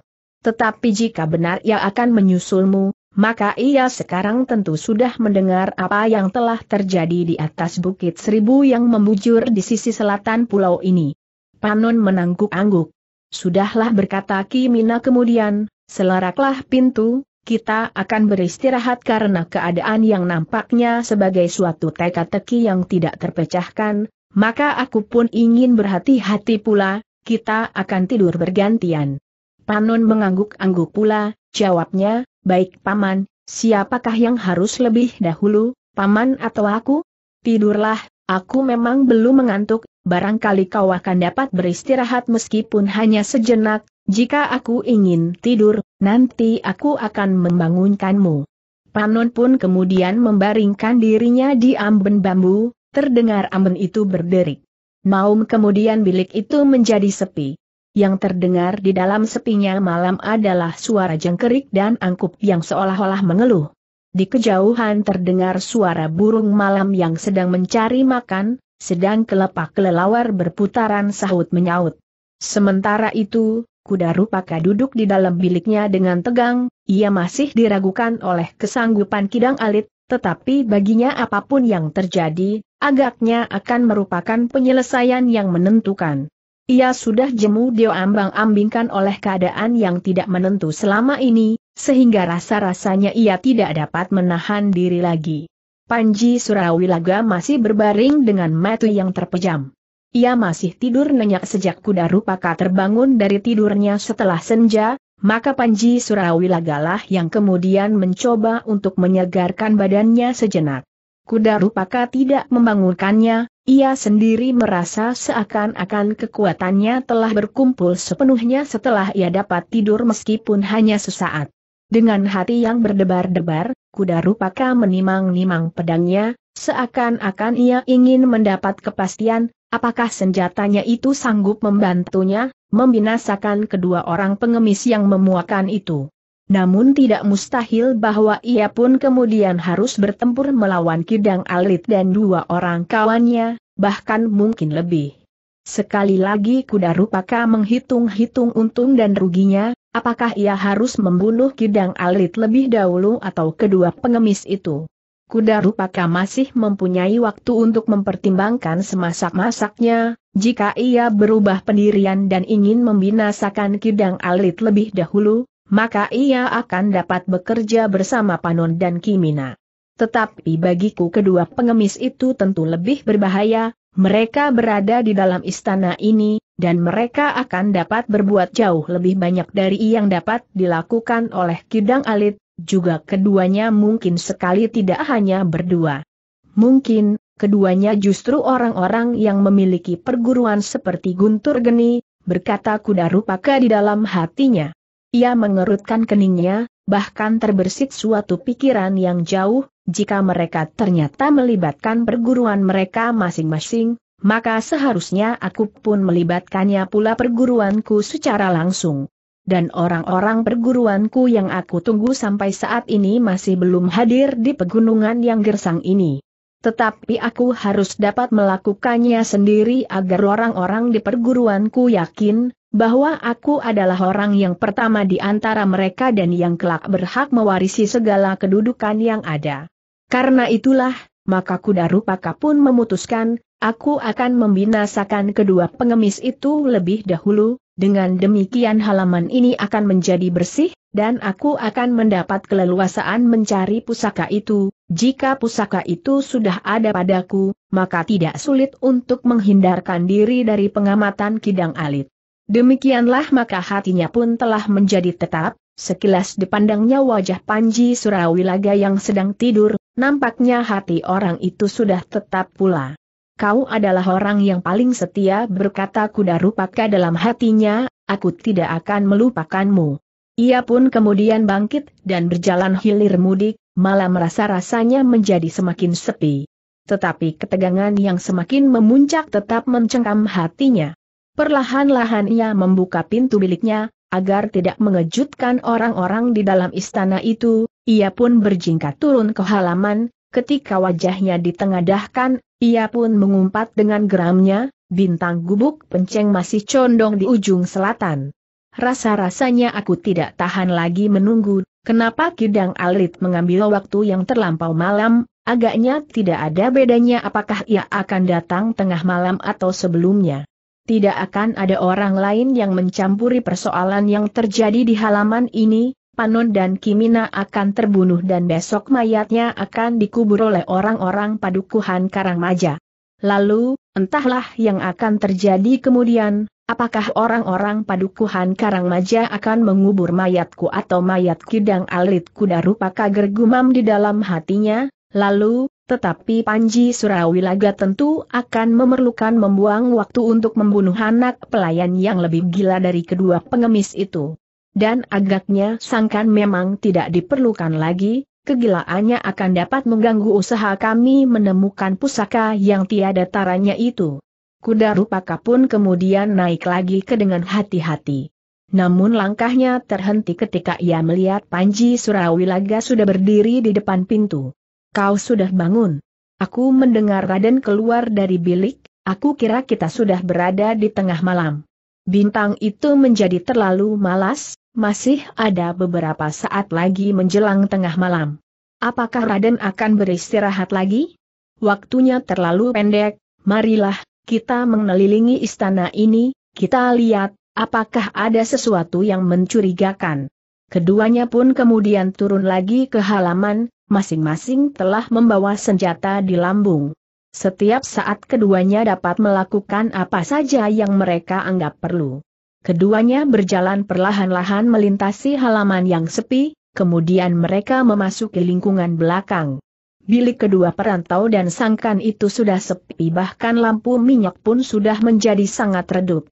Agaknya mereka sudah tidur desis Panji Surawilaga. Kuda Rupaka mengangguk-angguk, tetapi mereka tidak mendekat.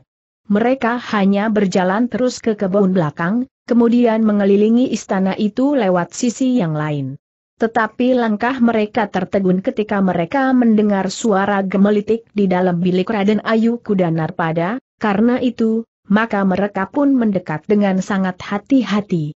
Siapakah yang masih bermain dakon di malam begini desis kuda rupaka? Panji Surawilaga tidak menjawab, tetapi keduanya pun kemudian mencari lubang pada dinding kayu bilik itu. Hampir bersamaan keduanya berhasil melihat meskipun hanya lamat-lamat. Yang masih bermain dakon adalah Pinten dan ibu nyanyi Upih, sedang Putri Inten yang merasa sangat mengantuk telah meletakkan kepalanya di pangkuan pelayannya yang setia itu. Sambil bergeser surut kuda Rupaka menarik nafas dalam-dalam, tetapi Panji Surawilaga berkata, biar sajalah, mereka tidak akan mempengaruhi apa pun juga. Bahkan jika perlu kita pun akan memaksa mereka untuk melakukan apa saja, termasuk menunjukkan pusaka itu jika perlu dengan kekerasan. Kuda Rupaka menarik nafas dalam-dalam, desisnya, kasihan Bibi, tetapi aku memang tidak mempunyai pilihan lain. Panji Surawilaga memandang wajah kuda rupaka sejenak, katanya, Raden Ayu telah menikmati kebesarannya pada masa Majapahit masih berdiri. Pada saatnya, air pasang akan menjadi surut, jika dalam perubahan keadaan seseorang harus menjadi korban, maka hal itu tidak dapat diingkari. Dalam pertentangan seperti yang telah terjadi, maka yang menang adalah yang benar. Kuda Rupaka mengangguk-angguk, katanya, kita pun harus menyadari bahwa kebenaran yang kita jadikan pegangan adalah kekuasaan yang berlandaskan kemenangan dari setiap benturan. Ternyata kuda Rupaka dan Panji Surawilaga tidak dapat lagi menyelubungi diri dengan laku yang baik dan sopan terhadap bibinya, yang dianggapnya sama sekali tidak membantunya. Bahkan kuda Rupaka pun kemudian berkata, Paman, akhirnya aku menyadari, bahwa tidak ada gunanya aku berbuat baik selama ini terhadap Bibi. Kepercayaan Bibi nampaknya lebih banyak diberikan kepada perantau yang harus kita bunuh malam ini. Mungkin Bibi Raden tidak menyadari bahwa yang sebenarnya dibawa oleh kedua perantau itu, jika datang saatnya, keduanya mungkin akan sampai hati membunuh Bibi dan Putri Inten Prawesti untuk mendapatkan pusaka itu. Memang mungkin sekali. Tetapi jika care itu memang care yang terbaik, apa boleh buat? Maksud paman? Panji Surawilaga tidak menjawab, tetapi nampak dalam keremangan wajahnya menjadi tegang. Tetapi agaknya dalam kebisuan masing-masing, keduanya telah dapat saling meraba maksudnya, mereka ternyata telah menilai pusaka yang mereka cari itu lebih dari segalanya. Lebih dari jiwa seseorang, bahkan juga jika seseorang itu adalah keluarga sendiri. Pusaka itu adalah sumber kekuasaan dan kemukten desis kuda rupaka dengan wajah yang mengeras, wajah yang seolah-olah telah berubah menjadi batu padas di pegunungan. Aku tidak mau tenggelam dalam sikap seorang yang baik hati, yang merelakan apa pun juga untuk kepentingan orang lain. Memelihara dengan makan dan minum, tetapi sama sekali tidak mengerti berterima kasih kuda rupaka melanjutkan. Panji Surawilaga menarik nafas dalam-dalam, perlahan-lahan mereka bergeser menjauh. Ternyata bahwa keduanya telah menemukan sikap yang matang sebagai landasan tingkah laku mereka kemudian. Di halaman depan mereka masih harus menunggu sampai lintang gubuk penceng tepat tegak berdiri di ujung selatan. Pada saat yang dijanjikan Kidang Alit akan datang untuk bersama-sama membunuh kedua pengemis itu. Jika mereka dapat melakukannya, Sebaiknya tanpa diketahui oleh Raden Ayu Kudanar pada dan kemudian mengubur mayat mereka dengan diam-diam di halaman belakang, bahkan bersama mayat sangkan sekaligus. Tetapi jika terpaksa Raden Ayu dan seisi istana itu mengetahuinya, apa boleh buat? Keduanya menjadi berdebar-debar, ketika mereka merasakan tiupan angin yang aneh. Rasa-rasanya angin itu begitu sejuk mengusap tubuh, tetapi keduanya mengerutkan kening ketika mereka sama sekali tidak melihat dedaunan bergerak betapapun lembutnya. Kuda Rupaka menggamit Panji Surawilaga, agaknya Panji Surawilaga pun mengetahuinya, sambil mengangguk kecil ia pun memberikan isyarat kepada kuda Rupaka untuk menyingkir ke tempat yang terlindung.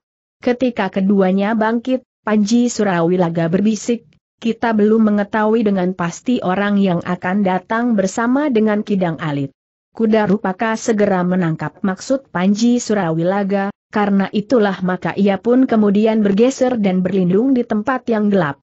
Arus udara yang aneh itu terasa semakin lama menjadi semakin kuat. Tetapi dedaunan masih saja seolah-olah membeku. Kidang Alit cukup berhati-hati berkata Panji Surawilaga perlahan-lahan di telinga kuda Rupaka.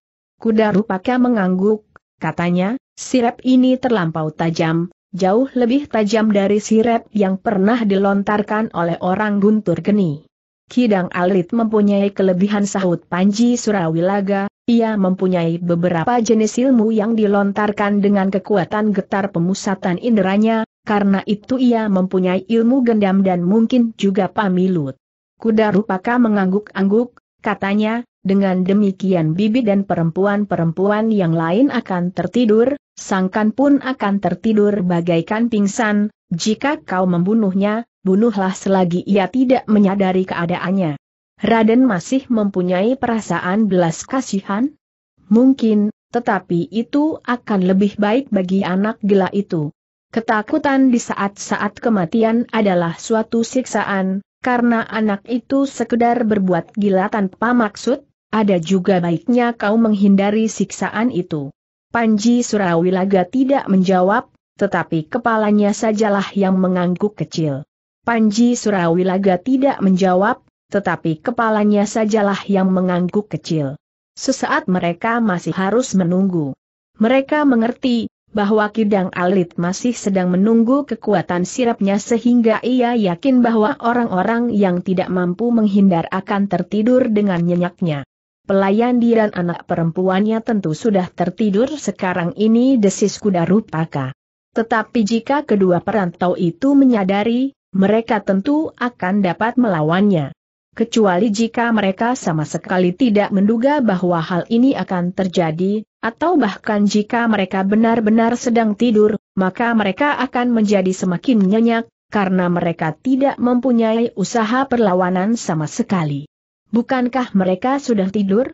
Jika demikian, mereka tidak terbangun untuk selama-lamanya, kita akan membunuh mereka dan menyeret mayatnya ke kebun belakang. Jika kita sempat melakukannya. Maksudmu? Mungkin kita akan langsung bertempur melawan Kidang Alit. Keduanya tersenyum, tetapi keduanya benar-benar sudah siap untuk menghadapi segala kemungkinan yang bakal terjadi, bahkan mungkin menghadapi kematian. Untuk beberapa saat kemudian keduanya berdiam diri, mereka mencoba untuk mengetahui, berapa jauh kekuatan sirep yang dilontarkan oleh Kidang Alit yang kemudian menyelubungi istana kecil itu dengan segala isinya. Kekuatan sirep ini agaknya sudah sampai di puncaknya desis Panji Surawilaga di telinga Raden Kuda Rupaka. Kuda Rupaka tidak menjawab, tetapi ia mengangguk saja. Sementara itu keduanya telah memperhitungkan, meskipun tidak saling bersepakat, bahwa saatnya sudah tiba bagi Kidang Alit untuk memasuki halaman istana. Ternyata dugaan mereka itu tepat. Tetapi Kidang Alit tidak tergesa-gesa dan terjebak oleh kuda rupaka. Seperti kuda rupaka pula, maka ia sangat berhati-hati. Kidang Alit tidak memasuki halaman dengan meloncat dinding seperti biasa dilakukannya, karena itulah, maka dugaan kuda rupaka keliru. Kidang Alit berusaha membuka selarak regol dari luar melalui celah-celah katu gerbang yang sudah tua. Kuda rupaka mengagamit Panji Surawilaga ketika didengarnya derak selarak pintu regol. Panji Surawilaga pun mengangguk sambil menatap gerbang regol itu dengan seksama. Namun sebelum ia melihat regol itu terbuka dan seseorang melangkah masuk, tiba-tiba saja keduanya telah melihat di dalam keremangan cahaya obor yang redup di kejauhan seseorang yang duduk di atas dinding. Tetapi orang itu ternyata bukan Kidang Alit. Dengan tangannya orang itu, memberikan isyarat kepada kawannya yang berada di luar gol. Baru sejenak kemudian, gerbong regol itu terbuka. Seseorang yang sudah dikenal baik oleh kuda rupaka dan Panji Surawilaga muncul sambil menengadahkan dadanya. Di sebelahnya berjalan seorang yang nampaknya cukup meyakinkan pula. Kuda rupaka menggamit Panji Surawilaga sekali lagi, ketika keduanya berpandangan, maka kuda rupaka pun menganggukkan kepalanya. Sejenak mereka masih menunggu, dengan hati-hati Kidang Alit melangkah ke tengah-tengah halaman yang tidak terlalu luas itu. Dengan tajamnya ia menatap pendapa yang kosong dan sepi. Pada saat itulah, maka kuda Rupaka dan Panji Surawilaga bangkit dan melangkah dari lindungan bayangan di daunan. Mendengar langkah itu, Kidang Alit segera meloncat mempersiapkan diri, demikian juga kedua kawannya yang segera berpencar, namun Kidang Alit menarik nafas dalam-dalam ketika ia melihat bahwa yang datang adalah kuda Rupaka dan Panji Surawilaga. Apakah kau sudah siap bertanya Kidang Alit perlahan-lahan? Kuda Rupaka mengangguk, jawabnya, saatnya memang sudah tiba. Apakah kedua perantau itu sedang tidur? Kuda Rupaka termangu-mangu sejenak, namun kemudian jawabnya, mungkin sekali, tetapi mungkin juga tidak. Kidang Alit mengangguk-angguk, katanya, jika ia sedang tidur saat aku melepaskan sirep, maka ia tidak akan bangun untuk selama-lamanya, kita akan memasuki biliknya dan menusuk dadanya sekali saja langsung tembus ke jantungnya. Dan kita akan menyeretnya ke liang kuburnya di halaman belakang desis Panji Surawilaga, Raden Ayu tidak akan pernah tahu, ke mana kedua pengemis itu pergi disertai oleh Sangkan, karena Raden Ayu tidak akan pernah menemukan mayatnya atau kabar beritanya lagi. Tetapi jika keduanya tidak sedang tidur desis kuda rupaka, apakah itu bukan berarti suatu berita bagi mereka, bahwa sesuatu akan terjadi? Memang mungkin, tetapi aku sudah memperhitungkan segala akibatnya. Nah, jika demikian, Apakah yang akan kita lakukan pertama-tama sekarang ini bertanya kuda rupaka. Tentu membunuh mereka jawab Kidang Alit, kau berdua membunuh seorang dari mereka, dan kami bertiga membunuh yang satunya. Dengan demikian maka pekerjaan ini akan cepat selesai Kidang Alit berhenti sejenak, lalu, tetapi dengan satu peringatan, bahwa kedatanganku hanya untuk membunuh kedua perantau itu. Maksudmu? Aku tidak siap membunuhmu sekarang. Gila geram Surawilaga, bagaimana jika kita berjanji bahwa setelah kedua pengemis dan sangkan terkubur, kita menyelesaikan masalah kita sekaligus. Hanya orang dungu sajalah yang akan berbuat demikian jawab Kidang Alit, karena dengan demikian maka Raden Ayu akan semakin bungkam tentang pusaka itu. Maksudku, biarlah rahasia tentang pusaka itu terlepas dahulu dari mulutnya barulah kita akan menentukan, siapakah yang berhak memilikinya, daripada sekarang kita berkelahi tanpa mendapatkan apa pun juga. Kuda Rupaka tersenyum, katanya, kau memang pintar, aku tidak dapat membedakan lagi antara kepintaran dan kelicikan, tetapi aku setuju dengan rencanamu itu. Panji Surawilaga mengangkat keningnya, namun ia tidak mengatakan apa pun juga, marilah ajak kuda Rupaka, kita pergi ke biliknya, aku berdua dengan Paman Panji akan membunuh Panon dan kau bertiga membunuh orang tua itu. Kami tidak berkeberatan. Kuda Rupaka mengangguk-angguk, namun sekilas nampak tatapan matanya menyambar kedua orang kawan Kidang Alit. Kedua orang ini ternyata adalah orang-orang yang tinggal di Banjar Besis Kidang Alit. Ya, aku sudah menduga. Kenapa? Kau tidak melihat mereka ketika keduanya datang saat orang-orang Guntur Geni menyerang kalian di sini. Keduanya mula-mula aku kira orang Guntur Geni tetapi kemudian aku memastikan bahwa dugaan itu salah. Apalagi ketika keduanya tinggal terlalu lama di Banjar tanpa berbuat apa-apa. Kidang Ali tertawa pendek, katanya, yang seorang adalah Paman Bramadara, yang lain adalah Paman Sambi Timur. Tetapi marilah, kita pergi ke bilik itu. Mereka berlima pun kemudian berjalan dengan hati-hati melingkari istana kecil itu. Namun mereka tidak langsung menuju ke bilik itu, mereka sadar, bahwa Panon dan Kimina bukannya orang kebanyakan, keduanya memiliki ilmu yang dapat mereka andalkan, sehingga keduanya berani melibatkan diri dalam pertentangan di antara mereka yang memperebutkan pusaka yang masih tersembunyi itu. Yang mendekati dinding bilik itu adalah Kidang Alit dan Kuda Rupaka, sejenak mereka mencoba untuk menangkap suara dari dalam bilik itu, namun sama sekali tidak terdengar sesuatu bahkan desah nafas pun tidak. Dengan hati-hati keduanya mencari lubang pada dinding bilik itu, untuk mengintip ke dalam bilik untuk mengetahui keadaan orang-orang yang di dalam bilik. Tetapi ternyata bahwa di dalam bilik itu nampaknya hanyalah hitam pekat, karena lampu tidak menyala lagi.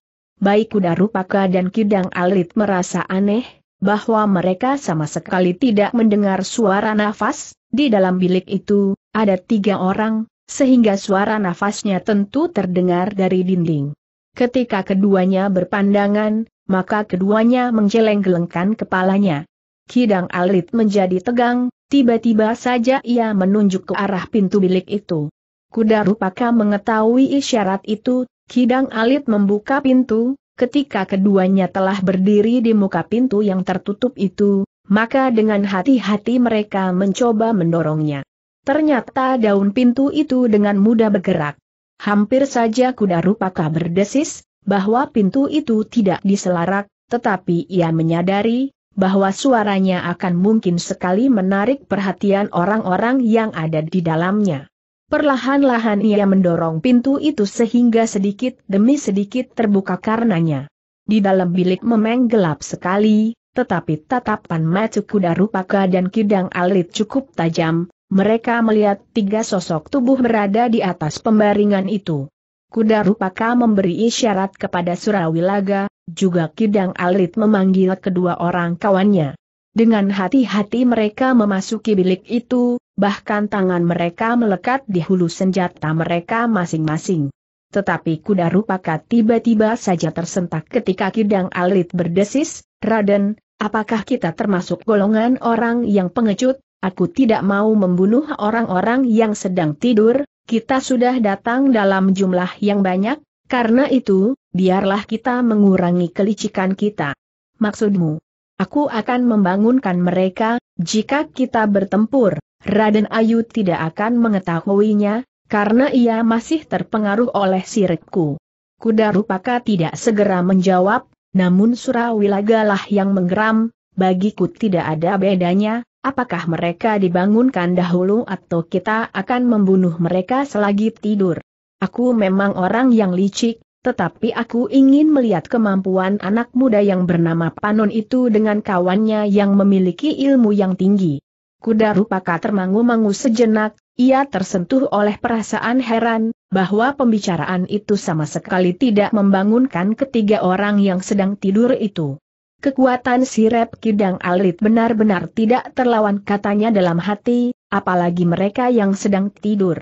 Namun dalam pada itu Kidang Alit berkata, bersiaplah, aku akan membangunkan mereka, kita akan bertempur di luar, karena itu, bersiaplah di luar pintu.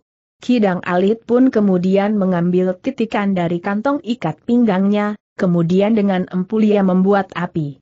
Aku akan mengejutkan mereka dengan api, karena dengan sentuhan tangan biasa agaknya mereka tidak akan dapat terbangun.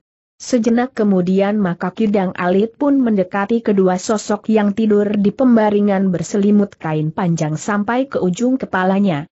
Dengan hati-hati Kidang Alit pun kemudian melemparkan empul yang sudah membara ke arah kedua sosok tubuh yang sedang tidur itu. Kidang Alit melangkah surut dan berdiri di pintu bersama kuda Rupaka dan orang-orang lain sambil menunggu. Empul yang segenggam itu membara semakin besar, bahkan kemudian selimut kedua sosok tubuh itu mulai mengepulkan asap. Namun keduanya masih belum terbangun. Gila desis kidang alit, apakah silpku telah membunuh mereka tanpa disentuh tangan? Namun kedua sosok tubuh itu masih tidak terbangun. Surawilaga tidak dapat menahan kesabarannya lagi, tiba-tiba saja ia meloncat masuk memasuki bilik Mitu. Dengan serta-merta ia menarik selimut-selimut itu. Namun betapa dadanya bagaikan pecah melihat apa yang tergolek di pembaringan itu. Sama sekali bukan kedua sosok tubuh perantau itu, tetapi dua ikat julup melinjo yang dibaringkan dan diselimuti oleh kain panjang. Betapa gelapnya bilik itu, namun Surawilaga masih dapat membedakan bahwa yang dihadapannya sama sekali bukan Panon dan Kimina. Dengan kemarahan yang meledak di dadanya ia mengambil kedua ikat juluk itu dan melemparkannya ke pintu sambil mencam-cam, anak stan. Kidang Alit bukalah matamu, apa yang kau lihat? Kidang Alit gemetar oleh kemarahan yang tidak tertahankan, dengan menggeram ia pun berkata, aku akan mencincang mereka sampai lumat. Kita akan mencarinya. Aku yakin mereka masih berada di sekitar halaman istana ini. Surawilaga menggeretakkan giginya, tiba-tiba saja ia menarik selimut yang tersisa, tetapi sangkan pun sudah tidak ada di pembaringannya. Jangan membuang waktu Surawilaga berteriak, cari mereka sampai dapat. Mereka meninggalkan longkangan dan menuju halaman, wajah kuda Rupaka bagaikan terbakar oleh kemarahan yang meluap-luap, kemudian ia berkata kepada Surawilaga, aku akan memusnahkan istana ini, jika aku tidak berhasil menemukan pusaka itu. Raden sudah menemukan kembali jati diri Raden kembali dalam tugas yang gawat ini.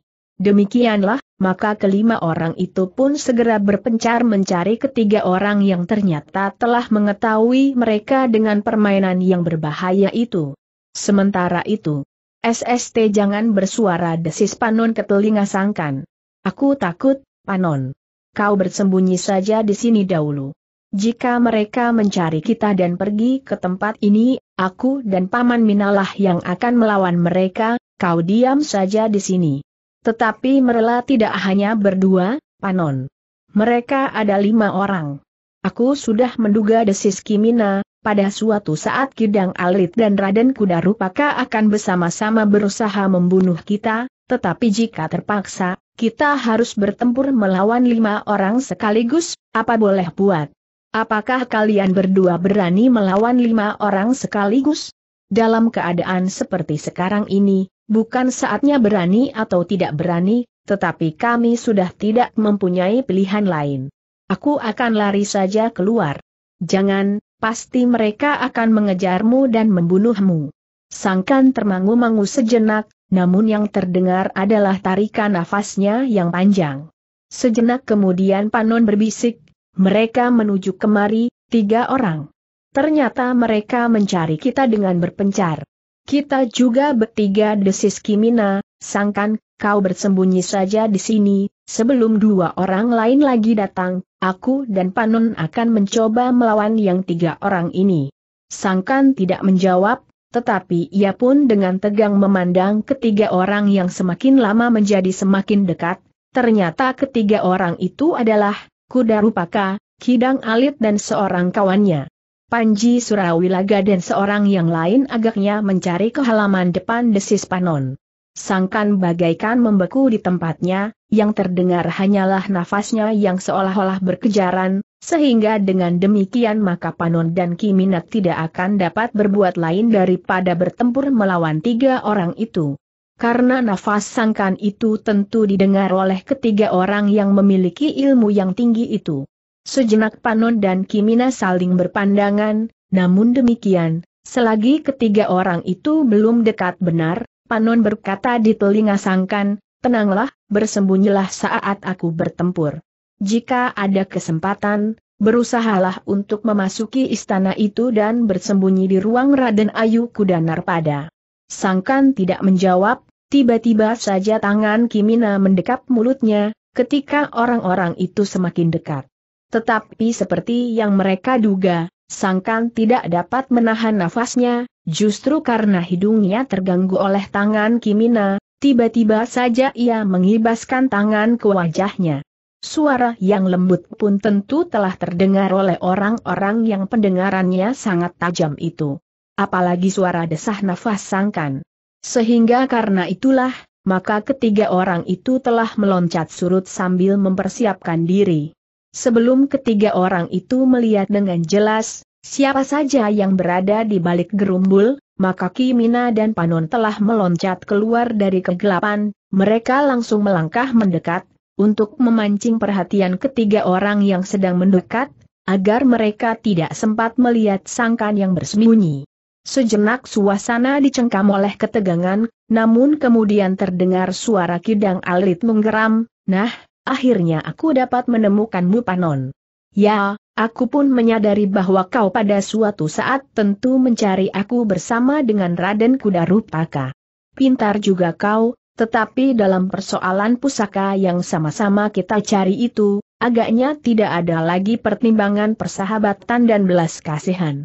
Sekarang aku dan Raden Kudarupaka memang datang untuk membunuh kalian berdua, tanpa menimbulkan banyak keributan.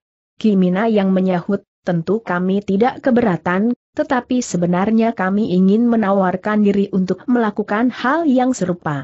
Jika sekiranya sekarang dapat dibicarakan, kepada siapa pun kami harus berpihak, maka kami dengan senang hati melakukan.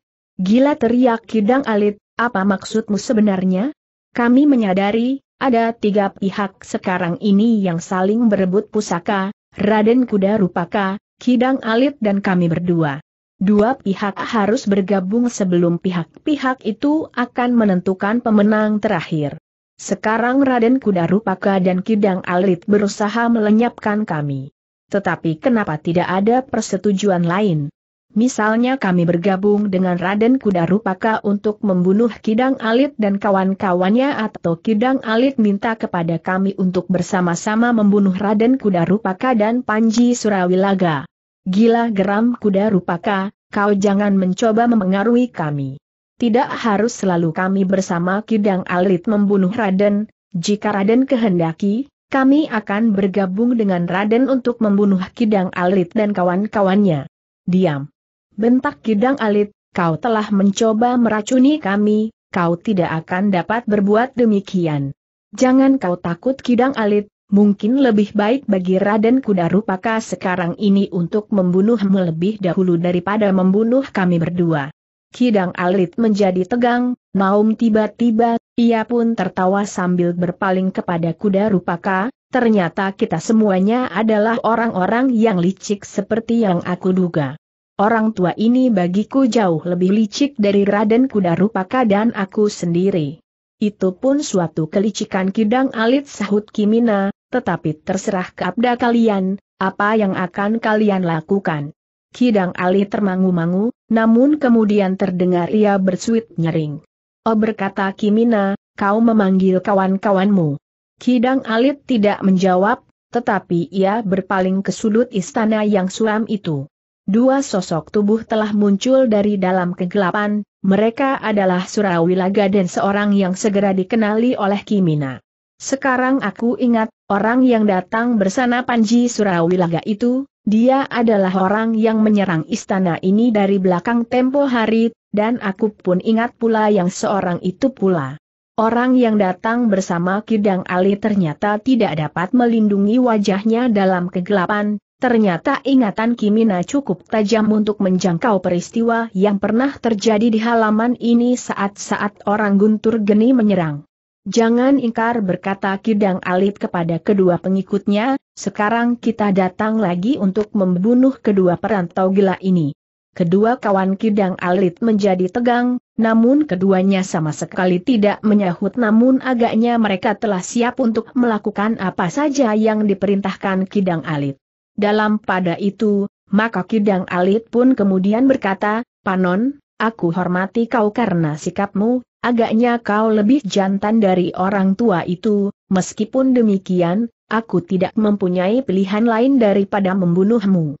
Lakukanlah jika kau mampu, bagiku, siapa pun juga yang harus aku hadapi, tidak akan ada bedanya, kau atau Raden Kuda Rupaka, atau kedua-duanya. Aku sudah mengira bahwa kau akan teguh, kau sama sekali tidak merengek untuk bergabung dengan salah satu dari pihak kami, Itulah bedanya antara kau dan Kimina. Kimina hanya ingin menjajagi, ternyata bahwa kalian benar-benar licik dan pengecut. Sekarang cepatlah, apa yang akan kau lakukan? Aku tahu bahwa Raden Kudarupaka mempunyai kedudukan khusus di sini. Tetapi bagiku kedudukan itu tidak berarti apa-apa dibandingkan dengan keselamatan sendiri. Persetan, Aku sudah mengira bahwa pada suatu saat kau akan menjadi lawan yang harus dimusnahkan. Bukan salah kami, Raden. Tetapi jika Raden menghendaki, maka kami pun akan berbuat tanpa ragu-ragu dan tanpa terlampau banyak pertimbangan perasaan. Gila, cepat bunuh mereka teriak Kidang Alit. Ternyata bahwa kedua pengikut Kidang Alit itu sama sekali tidak menunggu lagi, dengan serta-merta mereka pun maju beberapa langkah mendekati Kimina. Kita akan membunuh orang tua ini, Raden dan Panji Surawilaga akan membunuh Panon, kita akan berlomba, siapakah yang akan menyelesaikan tugasnya lebih dahulu. Itu tidak adil tiba-tiba saja Kimina menyahut, jika kalian ingin bertanding, beradu kecakapan bermain senjata, seharusnya masing-masing satu lawan satu. Persetan geram kidang alit, yang penting kali ini kalian matu terbunuh. Tiba-tiba saja Kimina tertawa, di saat-saat terakhir, aku masih sempat menyaksikan lelucon yang bagus sekali.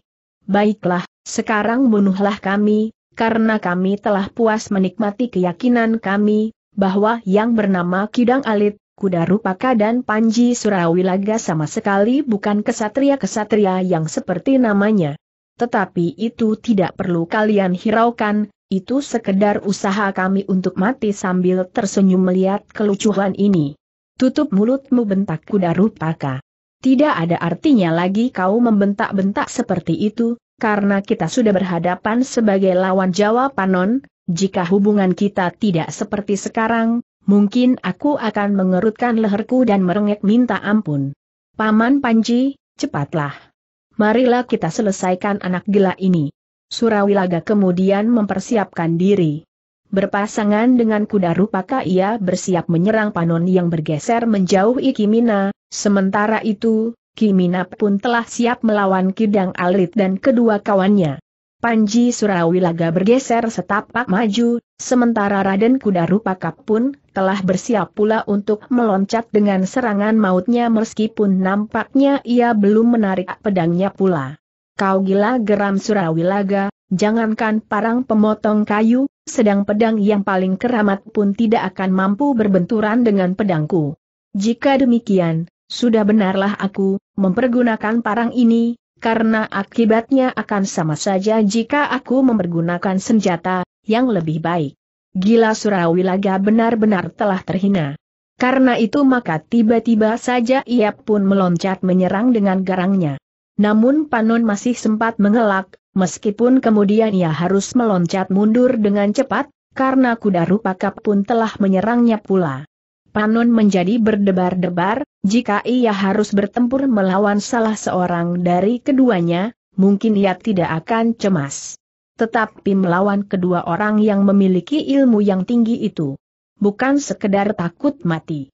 Namun itu akan berarti bahwa ia hanya dapat melakukan tugas yang dibebankan oleh gurunya sampai saat kematian menerkamnya. Apalagi jika ia mengingat Kimina yang kehadirannya semata-mata karena mengikutinya.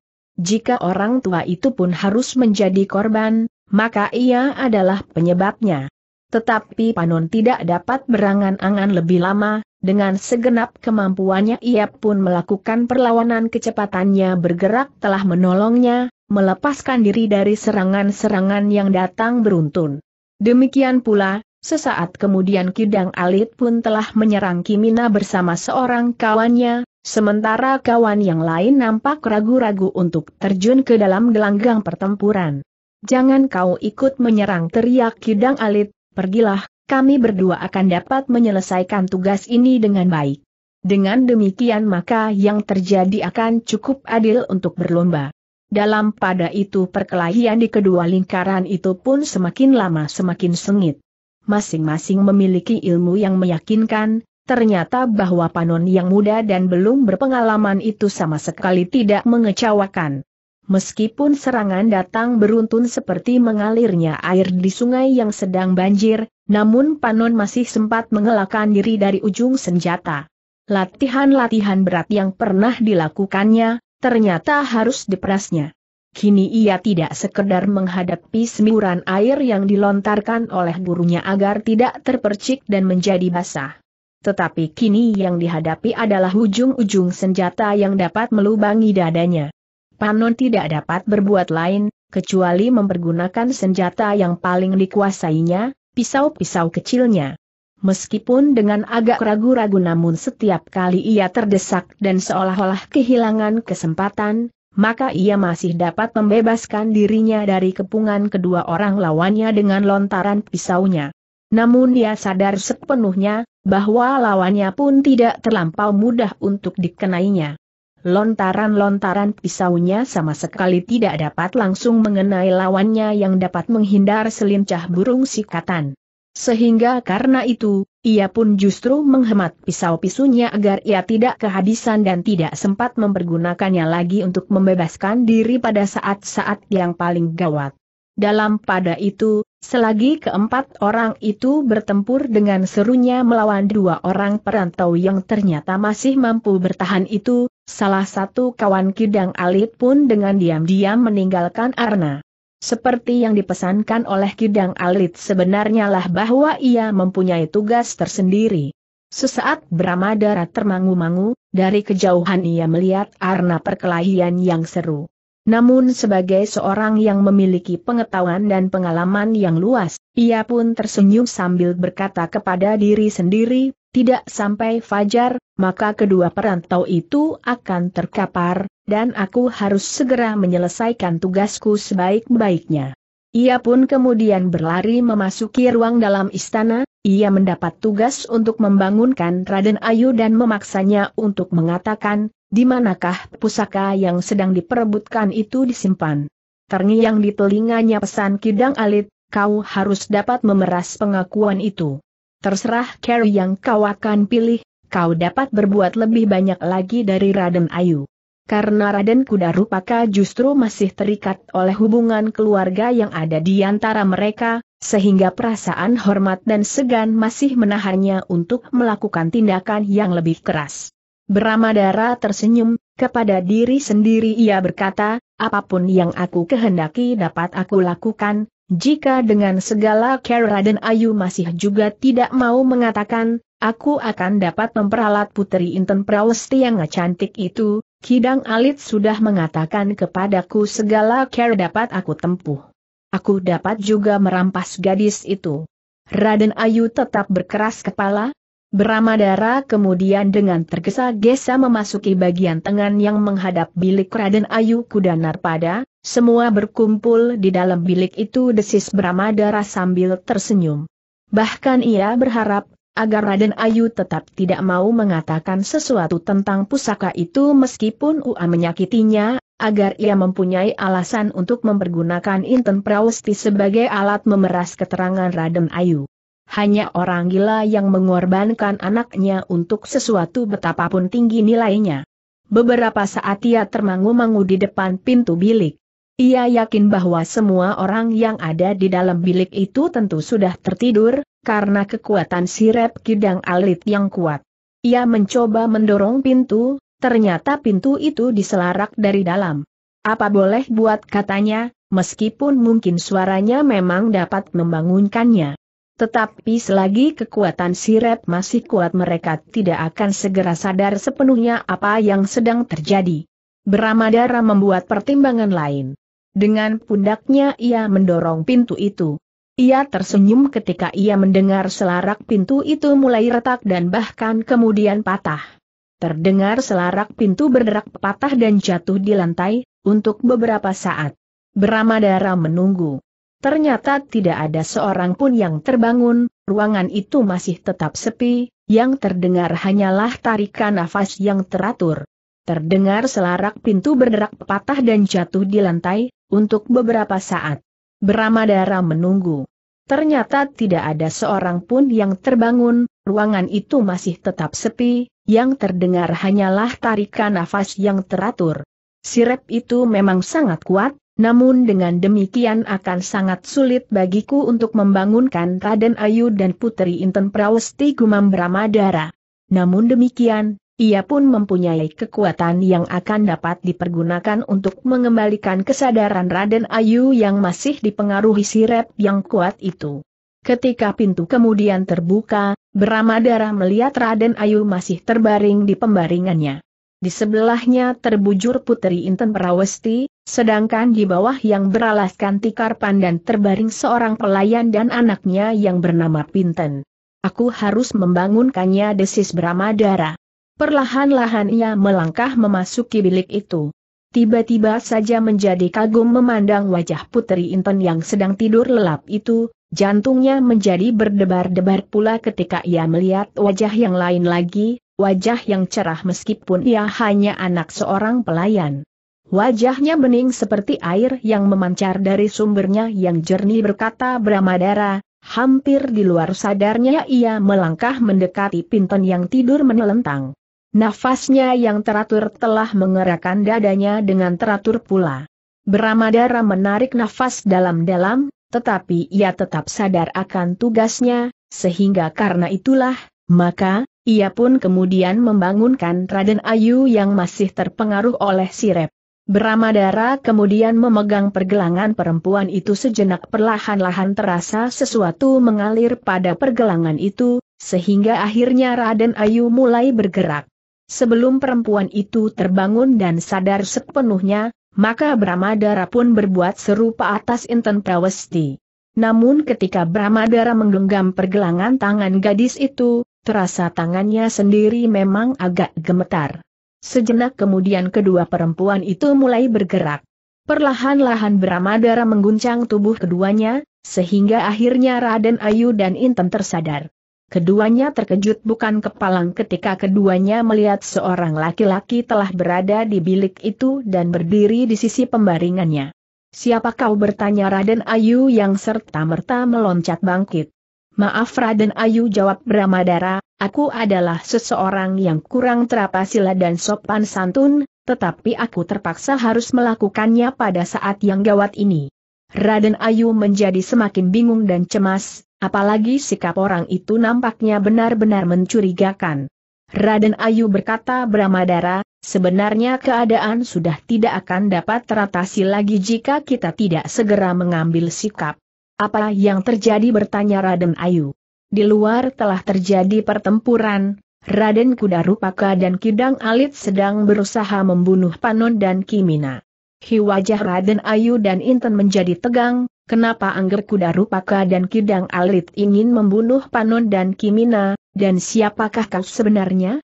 Di sekitar istana ini benar-benar telah menjadi sarang orang-orang yang tidak dikenal dan tidak bertanggung jawab. Pembunuhan yang bakal terjadi itu pun sebenarnya didorong oleh nafsu untuk memiliki pusaka pangeran kuda narpada yang tersimpan di istana ini. Siapa kau desak Raden Ayu? Itu tidak penting, tetapi Raden Ayu harus segera menyelamatkan diri. Raden Kuda Rupaka dan Kidang Alit ingin membubuh Panon dan Kimina di luar sepengetahuan Raden Ayu, karena dengan demikian Raden Ayu tidak akan dapat menentukan sikap. Pada saatnya mereka tentu akan berbuat lebih jauh lagi atas Raden Ayu sendiri. Kau belum mengatakan, siapakah kau sebenarnya? Itu tidak perlu, sekarang marilah, aku ingin menyelamatkan Raden Ayu dan Puteri justru saat perkelahian itu sedang berlangsung. Raden Ayu termangu-mangu, sementara itu Inten Prawesti mendekap ibunya dengan cemas. Raden Ayu, marilah. Bukankah Raden Ayu mendengar suara hiruk pikuk perkelahian itu? Sejenak kedua putri itu mencoba mendengarkan, dan mereka pun ternyata dapat mendengar keributan di halaman belakang sehingga keduanya pun kemudian yakin, bahwa memang ada perkelahian di sana. Nah, bukankah aku tidak berbohong? Lalu apa maksudmu? Kita pergi sekarang, Raden Ayu harus menyelamatkan pusaka itu, seharusnya Raden tidak terlampau percaya kepada Raden Kudarupaka dan Kidang Alit. Aku tidak mempercayainya, lebih-lebih Kidang Alit. Juga kepada pengemis yang lebih menjual belas kasihan itu untuk mendapat kesempatan berada di dalam istana ini. Raden Ayu terdiam. Sekarang, cepatlah putri, tidak ada waktu lagi, sebentar lagi Panon dan Kimina akan terbunuh dan pertempuran berikutnya akan terjadi antara Raden Kudarupaka dan Kidang Alit, sementara itu, Raden Ayu harus menyelamatkan pusaka itu. Raden Ayu termangu-mangu sejenak, sementara Inten menjadi semakin ketakutan, katanya kemudian dengan suara gemetar, Ibunda, apakah tidak sebaiknya kita menyingkirkan diri dari kekalutan ini? Ke mana kita akan menyingkir, Inten, di mana pun juga, kita akan mengalami hal yang sama. Tidak Raden Ayu sahut Bramadara, masih ada kesempatan, aku akan berusaha melindungi Raden Ayu. Marilah ibunda ajak Inten. Tetapi berkata Raden Ayu, aku sama sekali tidak mempunyai pusaka apa pun yang harus diselamatkan. Ah, aku berbangga atas kesetiaan Raden Ayu terhadap pesan Pangeran Kuda Narpada. Tetapi Raden Ayu pun harus bijaksana, justru karena keselamatan pusaka itulah, maka Raden Ayu sekarang harus bertindak cepat, menyingkirkan pusaka itu dari istana ini. Mungkin ke tempat yang tersembunyi. Tetapi Raden Ayu menggeleng, katanya, memang ingin menyelamatkan diri, tetapi aku tidak dapat membawa apa pun juga, apalagi pusaka seperti yang kau katakan. Ah, Raden Ayu harus mempergunakan nalar dan pikiran yang sehat, bukan sekedar perasaan semata. Aku sudah mencoba, tetapi apa yang dapat aku lakukan jika aku benar-benar tidak mengetahui apa pun juga tentang pusaka itu? Ibunda desis Inten Prawesti. Ibundanya membelai rambut anak gadisnya yang sedang ketakutan. Apalagi ketika ia melihat Bramadara melangkah setapak mendekati sambil menggeram, Raden Ayu, kesabaran seseorang ada batasnya, aku sudah mencoba menyabarkan diri. Tetapi pada dasarnya aku bukan orang yang dapat bersabar hati terus-menerus. Karena itu cepatlah, lakukanlah perintahku. Apakah itu termasuk suatu kebijaksanaan atau tidak, aku tidak peduli, karena jika Raden Ayu tidak mau menunjukkan pusaka-pusaka itu, maka Putri Inten Prawesti akan menjadi korban. Ibunda, aku tidak akan membunuhnya Raden Ayu berkata Bramadara seterusnya, tetapi aku dapat melekatkan noda kepadanya untuk sepanjang hidupnya. Ah desis Raden Ayu, kau jangan mengikut sertakan anakku dalam hal ini. Tentu, ia seorang gadis yang cantik, lembut dan menarik tiba-tiba saja Bramadara tertawa berkepanjangan, memenuhi bilik itu. Terasa tengkuk kedua orang wanita itu meremang. Terlebih-lebih lagi Inten, ia semakin memeluk erat ibundanya. Nah Raden Ayu, Waktuku hanya sedikit. Terserah kepada Raden Ayu, apakah aku akan mendapatkan pusaka itu, atau Putri Inten Prawesti. Kisanak berkata Raden Ayu, sejak semula aku sudah tidak percaya bahwa kau datang untuk menolong kami menyelamatkan pusaka yang kau sebut-sebut. Ternyata bahwa kau benar tidak ingin menyelamatkan kami, selain untuk memaksaku menunjukkan pusaka itu kepadamu. Sebenarnya lah bahwa tanpa paksaan apa pun juga, aku tentu akan memberikannya kepada orang yang pertama kali datang memintanya, seandainya aku mengetahui tentang pusaka-pusaka tersebut. Aku juga tidak mau mengalami kesulitan seperti ini. Tetapi sebenarnya lah aku tidak mengetahuinya. Wajah Bramadara menjadi tegang, lalu katanya, Raden Ayu yang keras kepala, aku dapat menyakitimu memperlakukan Raden Ayu seperti melakukan seekor kuda atau seekor lembu di depan sebuah pedati. Tetapi aku dapat memperlakukanmu dengan care yang lain. Mungkin dengan merenggut kuntum bunga yang barangkali kau sayangi lebih dari jiwamu sendiri. Aku akan merenggutnya, mengambil madunya dan kemudian mencampakkannya seperti sampah. Tidak teriak Inten. Beramadara tertawa, katanya, ibundamu senang sekali melihat kau ketakutan dan menggigil. Tetapi jangan takut puteri, sudah masanya kau mengenal sentuhan seorang laki-laki. Tidak, tidak. Wajah Raden Ayu menjadi tegang, jantungnya berdegup semakin keras, agaknya sesuatu sedang terjadi di dalam dirinya, pertentangan yang tidak akan dapat teratasi. Cepat, aku akan mengambil anak gadismu dan kemudian membunuhmu di sini. Aku dapat melemparkan gadismu ke dalam sarang kawan-kawanku yang garang dan buas kau dapat membayangkan akibatnya. Nafas Raden Ayu menjadi pepat. Dipeluknya Inten dengan air mata yang menitik satu-satu. Jangan kau tangisi anakmu. Hanya ada dua pilihan. Menyerahkan pusaka itu, atau melepaskan anakmu jatuh di tanganku dan kawan-kawanku. Kau tidak dapat menahannya, sebab jika perlu aku akan membunuhmu setelah kau menyaksikan penderitaan yang dialami oleh anak gadismu. Tidak, tidak suara Inten Prawesti gemetar. Beramadara tertawa, katanya, aku tidak akan membunuhmu, entah kawanku setelah kau berada di tangan mereka. Wajah Inten bercat pasi, tiba-tiba saja ditatapnya patrem kecil yang melekat pada dinding. Sejenak Inten termangu-mangu, namun kengerian yang sangat telah melanda hatinya jika ia membayangkan apa yang akan terjadi pada dirinya dan patrem yang tergantung di dinding itu akan dapat membantunya mengakhiri segalanya. Namun keragu-raguan masih membelit hatinya. Betapapun kecilnya, ia pun sebenarnya masih mengharap bahwa ibundanya akan mengatakan kepada orang itu sesuatu tentang pusaka yang mereka cari.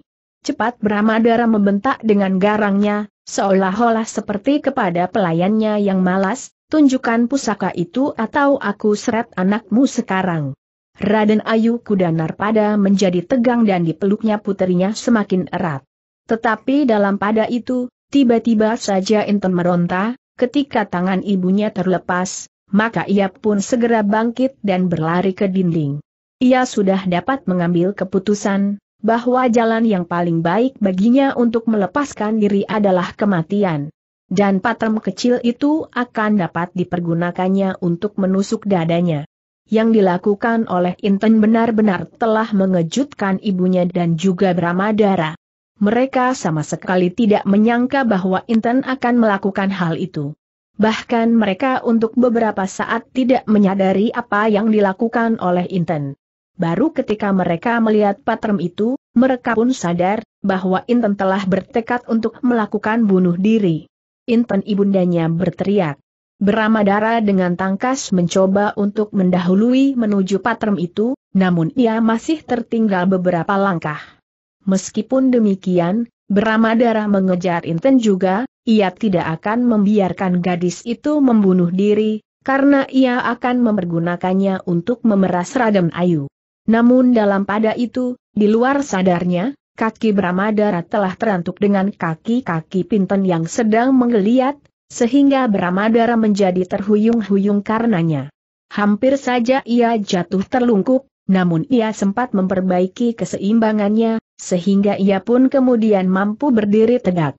Tetapi pada saat itu Inten telah menggenggam hulu patrem itu sambil berkata, laki-laki yang tidak tahu adat, jika kau maju selangkah, aku akan membunuh diri, ibundaku tidak mengetahui pusaka yang kau cari, tetapi kau akan memakai dalih untuk melakukan perbuatan terkutuk itu atasku. Sejenak Brahmadara termangu-mangu, namun kemudian ia tertawa sambil berkata, Putri, alangkah buruknya mati dengan membunuh diri, ternyata putri pun sudah disentuh oleh perasaan ragu-ragu. Jika putri ingin membunuh diri, Putri tidak akan mempertimbangkan dan menunggu sampai aku datang mengganggu putri sebenarnya lah mati dengan membunuh diri adalah kematian yang paling hina atas diri seseorang. Dan membunuh orang lain adalah perbuatan yang terkutuk jika tidak berlandaskan alasan yang mapan. Apalagi membunuh diri hanya karena putus asa. Inten menjadi semakin tegang. Beramadara masih tertawa, sambil melangkah maju ia berkata, Puteri, berikanlah patram itu kepadaku, aku akan memperlakukan kau lain dari yang aku katakan. Sebenarnya lah bahwa aku hanya sekedar menakut-nakuti ibundamu, agar ibundamu sudi mengatakan pusaka itu. Aku terpaksa mengambil care itu sekedar untuk membantu Demak, menyelamatkan pusaka itu, apabila jatuh ke tangan orang-orang yang tidak bertanggung jawab, akibatnya akan pahit sekali. Inten berdiri membeku, namun ketika Bramadara maju selangkah lagi, Inten pun surut selangkah, bahkan kemudian ia pun melingkari Upih dan Pinten yang masih berbaring. Puteri, jangan menuruti kata hati. Aku tidak berkata bersungguh-sungguh lalu ia pun berpaling kepada Raden Ayu, aku mohon ampun, aku tidak mempunyai cara lain yang lebih baik untuk menyelamatkan Raden Ayu dan pusaka itu daripada dengan menakut-nakuti meskipun aku sadar bahwa dengan demikian namaku akan cemar, mungkin aku akan disejajarkan dengan Raden Kuda Rupaka, Kidang Alit, Panon dan siapa lagi yang diselubungi nafsu. Namun aku benar-benar tidak mempunyai Caroline, jika aku sekedar harus mengorbankan namaku bagi keselamatan pusaka itu dan Raden Ayu beserta putri, maka hal itu bukanlah pengorbanan yang berarti dibandingkan dengan nilai penyelamatannya. Raden Ayu termangu-mangu sejenak, dipandanginya Inten yang tegang, bahkan tangannya masih tetap berpegangan pada hulu patrem. Puteri, berikan patrem itu kepadaku, sebenarnya aku tidak ingin berbuat apa-apa, hanya menakut-nakuti saja, jika tanpa menakut-nakuti aku berhasil menyelamatkan pusaka itu, maka aku pun tidak akan melakukannya. Yang menjadi bingung adalah Raden Ayu, ia sadar sepenuhnya, bahwa orang itu sama sekali tidak dapat dipercayainya, jika Inten benar-benar menyerahkan patremnya, maka itu berarti bahwa Inten akan jatuh di tangan laki-laki yang licik itu. Tetapi jika ia mencegahnya, maka Inten akan salah mengerti dan menganggap bahwa ia menyetujui niat Inten untuk membunuh diri. Dalam keragu-raguan itu terdengar suara Bramadara, cepatlah putri, cobalah menyadari bahwa keadaan menjadi semakin gawat. Kita tidak boleh sekedar bermain-main dengan perasaan kita saja sekarang ini, tetapi kita harus mempergunakan nalar kita sepenuhnya. Karena Inten masih tetap tidak menyerahkan patremnya, Beramadara pun menarik nafas sambil berkata, terserahlah putri, apalagi jika memang Raden Ayu sependapat pula. Tidak pekik Raden Ayu, aku tidak akan membiarkan anak gadisku membunuh diri, tetapi aku pun tidak dapat membiarkannya jatuh ke tanganmu. Beramadara seolah-olah kehabisan kesabaran, Pertempuran di luar terdengar semakin seru meskipun Brahmadara hanya mengetahui dari suara desir kaki mereka. Tetapi telinganya memang cukup tajam untuk dapat menangkap dan kemudian membayangkan apa yang sedang terjadi. Tetapi tiba-tiba saja, Brahmadara mengerutkan keningnya, ia mendengar sesuatu yang agak aneh pada pertempuran itu. Rasa-rasanya menurut keadaan saat ia meninggalkan mereka, hanya ada dua lingkaran perkelahian. Panon dan Kimina masing-masing harus melawan dua orang sekaligus. Tetapi kini agaknya ia mendengar tiga lingkaran pertempuran yang terpisah. Apakah telingaku tidak mampu lagi menangkap kejadian di luar dinding istana ini? Ia bertanya kepada diri sendiri. Namun dalam pada itu, pertempuran di luar agaknya memang sudah berkembang. Tidak mungkin katanya kepada diri sendiri, apakah telah hadir orang-orang guntur geni atau orang lain yang tidak aku ketahui sama sekali. Dalam kebimbangan itu, maka tiba-tiba saja tingkah lakunya menjadi semakin berbeda. Dengan wajah yang garang ia berkata, aku tidak mempunyai banyak waktu, perkelahian di luar nampaknya berkembang tanpa aku ketahui. Sekarang, cepat katakan. Di mana pusaka itu, aku tidak sempat menghiraukan tingkah laku puteri yang menjadi gila itu. Ingat, aku dapat berbuat apa pun juga atas Raden Ayu yang juga seorang perempuan. Ruangan itu benar-benar menjadi tegang, baik Raden Ayu maupun Inten menyadari sepenuhnya bahwa laki-laki itu benar-benar telah diamuk oleh kegelisahan sehingga ia benar-benar akan segera melakukan tindakan-tindakan yang kasar. dalam pada itu sejenak setiap perhatian tertuju kepada Raden Ayu, bahkan Inten memandang ibundanya dengan cemas. Namun agaknya Brahmadara berusaha untuk memanfaatkan keadaan itu, ia melihat sekilas betapa Inten berdiri tegang memandang ibundanya, sehingga ia menjadi lengah tentang diri sendiri. Brahmadara adalah seorang laki-laki yang memiliki ilmu yang tinggi, karena itu meskipun Inten berada di sebelah Pinten Danyi Upih yang tidur di lantai, ia yakin bahwa dengan satu lompatan ia akan berhasil menguasai patrem di tangan gadis itu, sekaligus menangkapnya. Sejenak Brahmadara mempersiapkan diri, meskipun nampaknya bagi Macu kebanyakan orang perhatiannya tertuju kepada Raden Ayu, mau Nia benar-benar sudah siap untuk meloncati dua sosok tubuh yang terbaring itu dan langsung menangkap Inten. Suasana bilik itu menjadi kian tegang, dan dengan tiba-tiba saja Brahmadara melaksanakan rencananya itu. Seolah-olah tanpa ancang-ancang sama sekali, kakinya telah melontarkan tubuhnya ke arah Putri Inten Prawesti. Tetapi terjadi pula sesuatu yang tidak disangka-sangka, tiba-tiba saja Pinten bergerak, kakinya terangkat pada lututnya sambil mengeliat. Brahmadara yang tegang, sama sekali tidak memperhitungkan hal yang terjadi itu.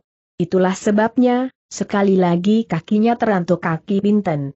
Sehingga ia pun benar-benar telah kehilangan keseimbangan karena dorongan kekuatannya sendiri dan ketergesa-gesaannya.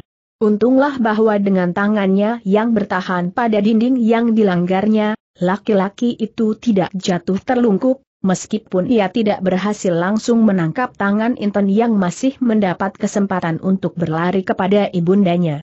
Gila teriak Brahmadara yang menjadi marah bukan buatan. Sambil memandang kedua perempuan yang sedang berpelukan. Tidak ada jalan lain, setiap orang di dalam bilik ini akan aku binasakan dengan caraku. Aku akan membawa kalian ke sorangku. Aku tidak tahu apa yang akan terjadi atas kalian yang muda-muda dan yang tua-tua. Raden Ayu dan Inten benar telah kehilangan kesempatan selain ujung patrem itu. Tidak ada jalan lain yang lebih baik dari kematian untuk menghidarkan diri dari keganasan dan kebuasan laki-laki yang tidak mereka kenal itu. Meskipun kedua perempuan yang sedang berpelukan itu tidak saling berjanji, namun tekad mereka sudah sama mereka akan membunuh diri jika laki-laki itu memaksa mereka untuk menunjukkan pusaka yang dicarinya atau menangkap mereka untuk dibawa ke sorangnya. Namun dalam pada itu, dalam ketegangan yang memuncak, tiba-tiba saja Pinten menggeliat sambil menguap. Telapak tangannya menutup mulutnya yang terbuka, sedang matanya pun mulai berkeredip. Tetapi tiba-tiba saja ia bangkit ketika ia melihat ada seorang laki-laki asing di bilik itu. Beramadara mengerutkan keningnya, wajah gadis itu memang cantik meskipun dengan sifat dan watak yang berbeda dengan kecantikan Inten Prawesti. Tetapi kemarahan, kecemasan dan juga ketergesa-gesaan, telah membuatnya tidak sempat berbuat sesuatu selain membentak sekali lagi, aku tidak punya waktu lagi. Jika kalian tetap berkeras kepala, aku tidak punya pilihan lain. Raden Ayu dan Inten sadar, bahwa laki-laki itu benar-benar sudah kehilangan kesabaran. Karena itulah maka rasa-rasanya tangan Inten yang memegang patrem sudah siap untuk diayunkan ke dadanya sendiri. Tetapi sekali lagi perhatian mereka terampas oleh sikap Inten yang seolah-olah tidak mengerti apa yang telah terjadi. Dengan ragu-ragu ia bertanya kepada Raden Ayu, ampun Raden Ayu, siapakah laki-laki itu, apakah Raden Ayu mengenalnya? Pertanyaan itu membuat Brahmadara semakin marah, dengan suara yang gemetar ia menjawab, tidak patut kau bertanya lagi, tunggulah apa yang akan terjadi atas dirimu. Beramadara sudah siap meloncat dan menerkam Raden Ayu dan Inten sambil memperhitungkan patrem di tangan gadis itu, namun tubuhnya tertahan ketika ia mendengar Pinten tertawa kecil sambil berkata, lucu sekali, hi, kenapa kau memasuki bilik ini? Nampaknya Raden Ayu dan Puteri juga tidak mengenalmu. Tetapi entahlah jika biung kalau sudah terbangun. Beramadara tidak dapat menahan kemarahannya lagi, tiba-tiba saja tangannya terayun ke wajah Pinten. Tetapi saat yang bersamaan, Pinten berjongkok sambil berkata, aku akan membangunkan Biung. Benar-benar di luar dugaan, tangan Bramadara tidak menyentuh wajah gadis itu sama sekali. Bahkan seolah-olah tidak pernah terjadi sesuatu Pinten mengguncang Nyi Upi sambil berkata, Biung, bangunlah, apakah kau mengenal laki-laki ini? Bramadara mengayunkan tangannya ke kepala gadis itu yang sedang berjongkok. Tetapi sekali lagi tangannya tidak menyentuhnya, karena Pinten dengan cepatnya bergeser ke samping sambil berkata, jangan terlampau kasar kisanak, sentuhan tanganmu dapat membuat kepala menjadi pusing. Beramadara terkejut bukan kepalang, kali ini tentu bukan suatu kebetulan, karena itu, maka untuk sesaat Beramadara justru bagaikan membeku di tempatnya memandang Pinten yang kemudian bangkit berdiri. Kisanak berkata Pinten, apakah yang sebenarnya kau lakukan di sini, apakah kau ingin mencuri atau ingin memaksakan sesuatu kepada Raden Ayu seperti orang-orang lain yang menjadi gila karena bayangan mereka terhadap pusaka yang mereka sangka ada di sini? Cukup bentak Bramadara, jangan membikin aku menjadi semakin marah, aku dapat membunuhmu paling awal jika kau berkeras kepala. Benar-benar tidak disangka bahwa, Pinten justru tertawa, katanya, kau tidak pantas berbuat seperti yang kau lakukan seperti sekarang ini. Gila, apakah kau sudah kepanjingan iblis, hi, perempuan dungu? Apakah kau sangka aku sedang bergurau sekarang ini? Tidak, aku melihat kesungguhan pada wajahmu yang bagaikan membara. Apakah kau tidak sadar, bahwa dengan sekali ayunan tangan kau dapat terbunuh? Aku sadar, tetapi kau tidak akan mampu melakukannya. Hati Bramadara benar-benar bagaikan menyala. Sekali lagi hampir di luar sadarnya tangannya terayun ke wajah Pinten. Tetapi sekali lagi gadis itu dapat mengelak, sehingga tangan Bramadara sama sekali tidak menyentuhnya. Peristiwa itu benar-benar mencengkam hati Raden Ayu dan Inten, keduanya seolah-olah menghadapi suatu peristiwa yang tidak dapat mengerti. Pinten anak Nyi Upih yang nakal dan kemanja-manjaan itu, tiba-tiba saja telah melakukan sesuatu yang tidak masuk akal. Gadis itu nampaknya dengan tabah menghadapi laki-laki yang sedang marah itu. Bahkan hampir di luar sadarnya Inten berdesis, Pinten, berhati. Hatilah.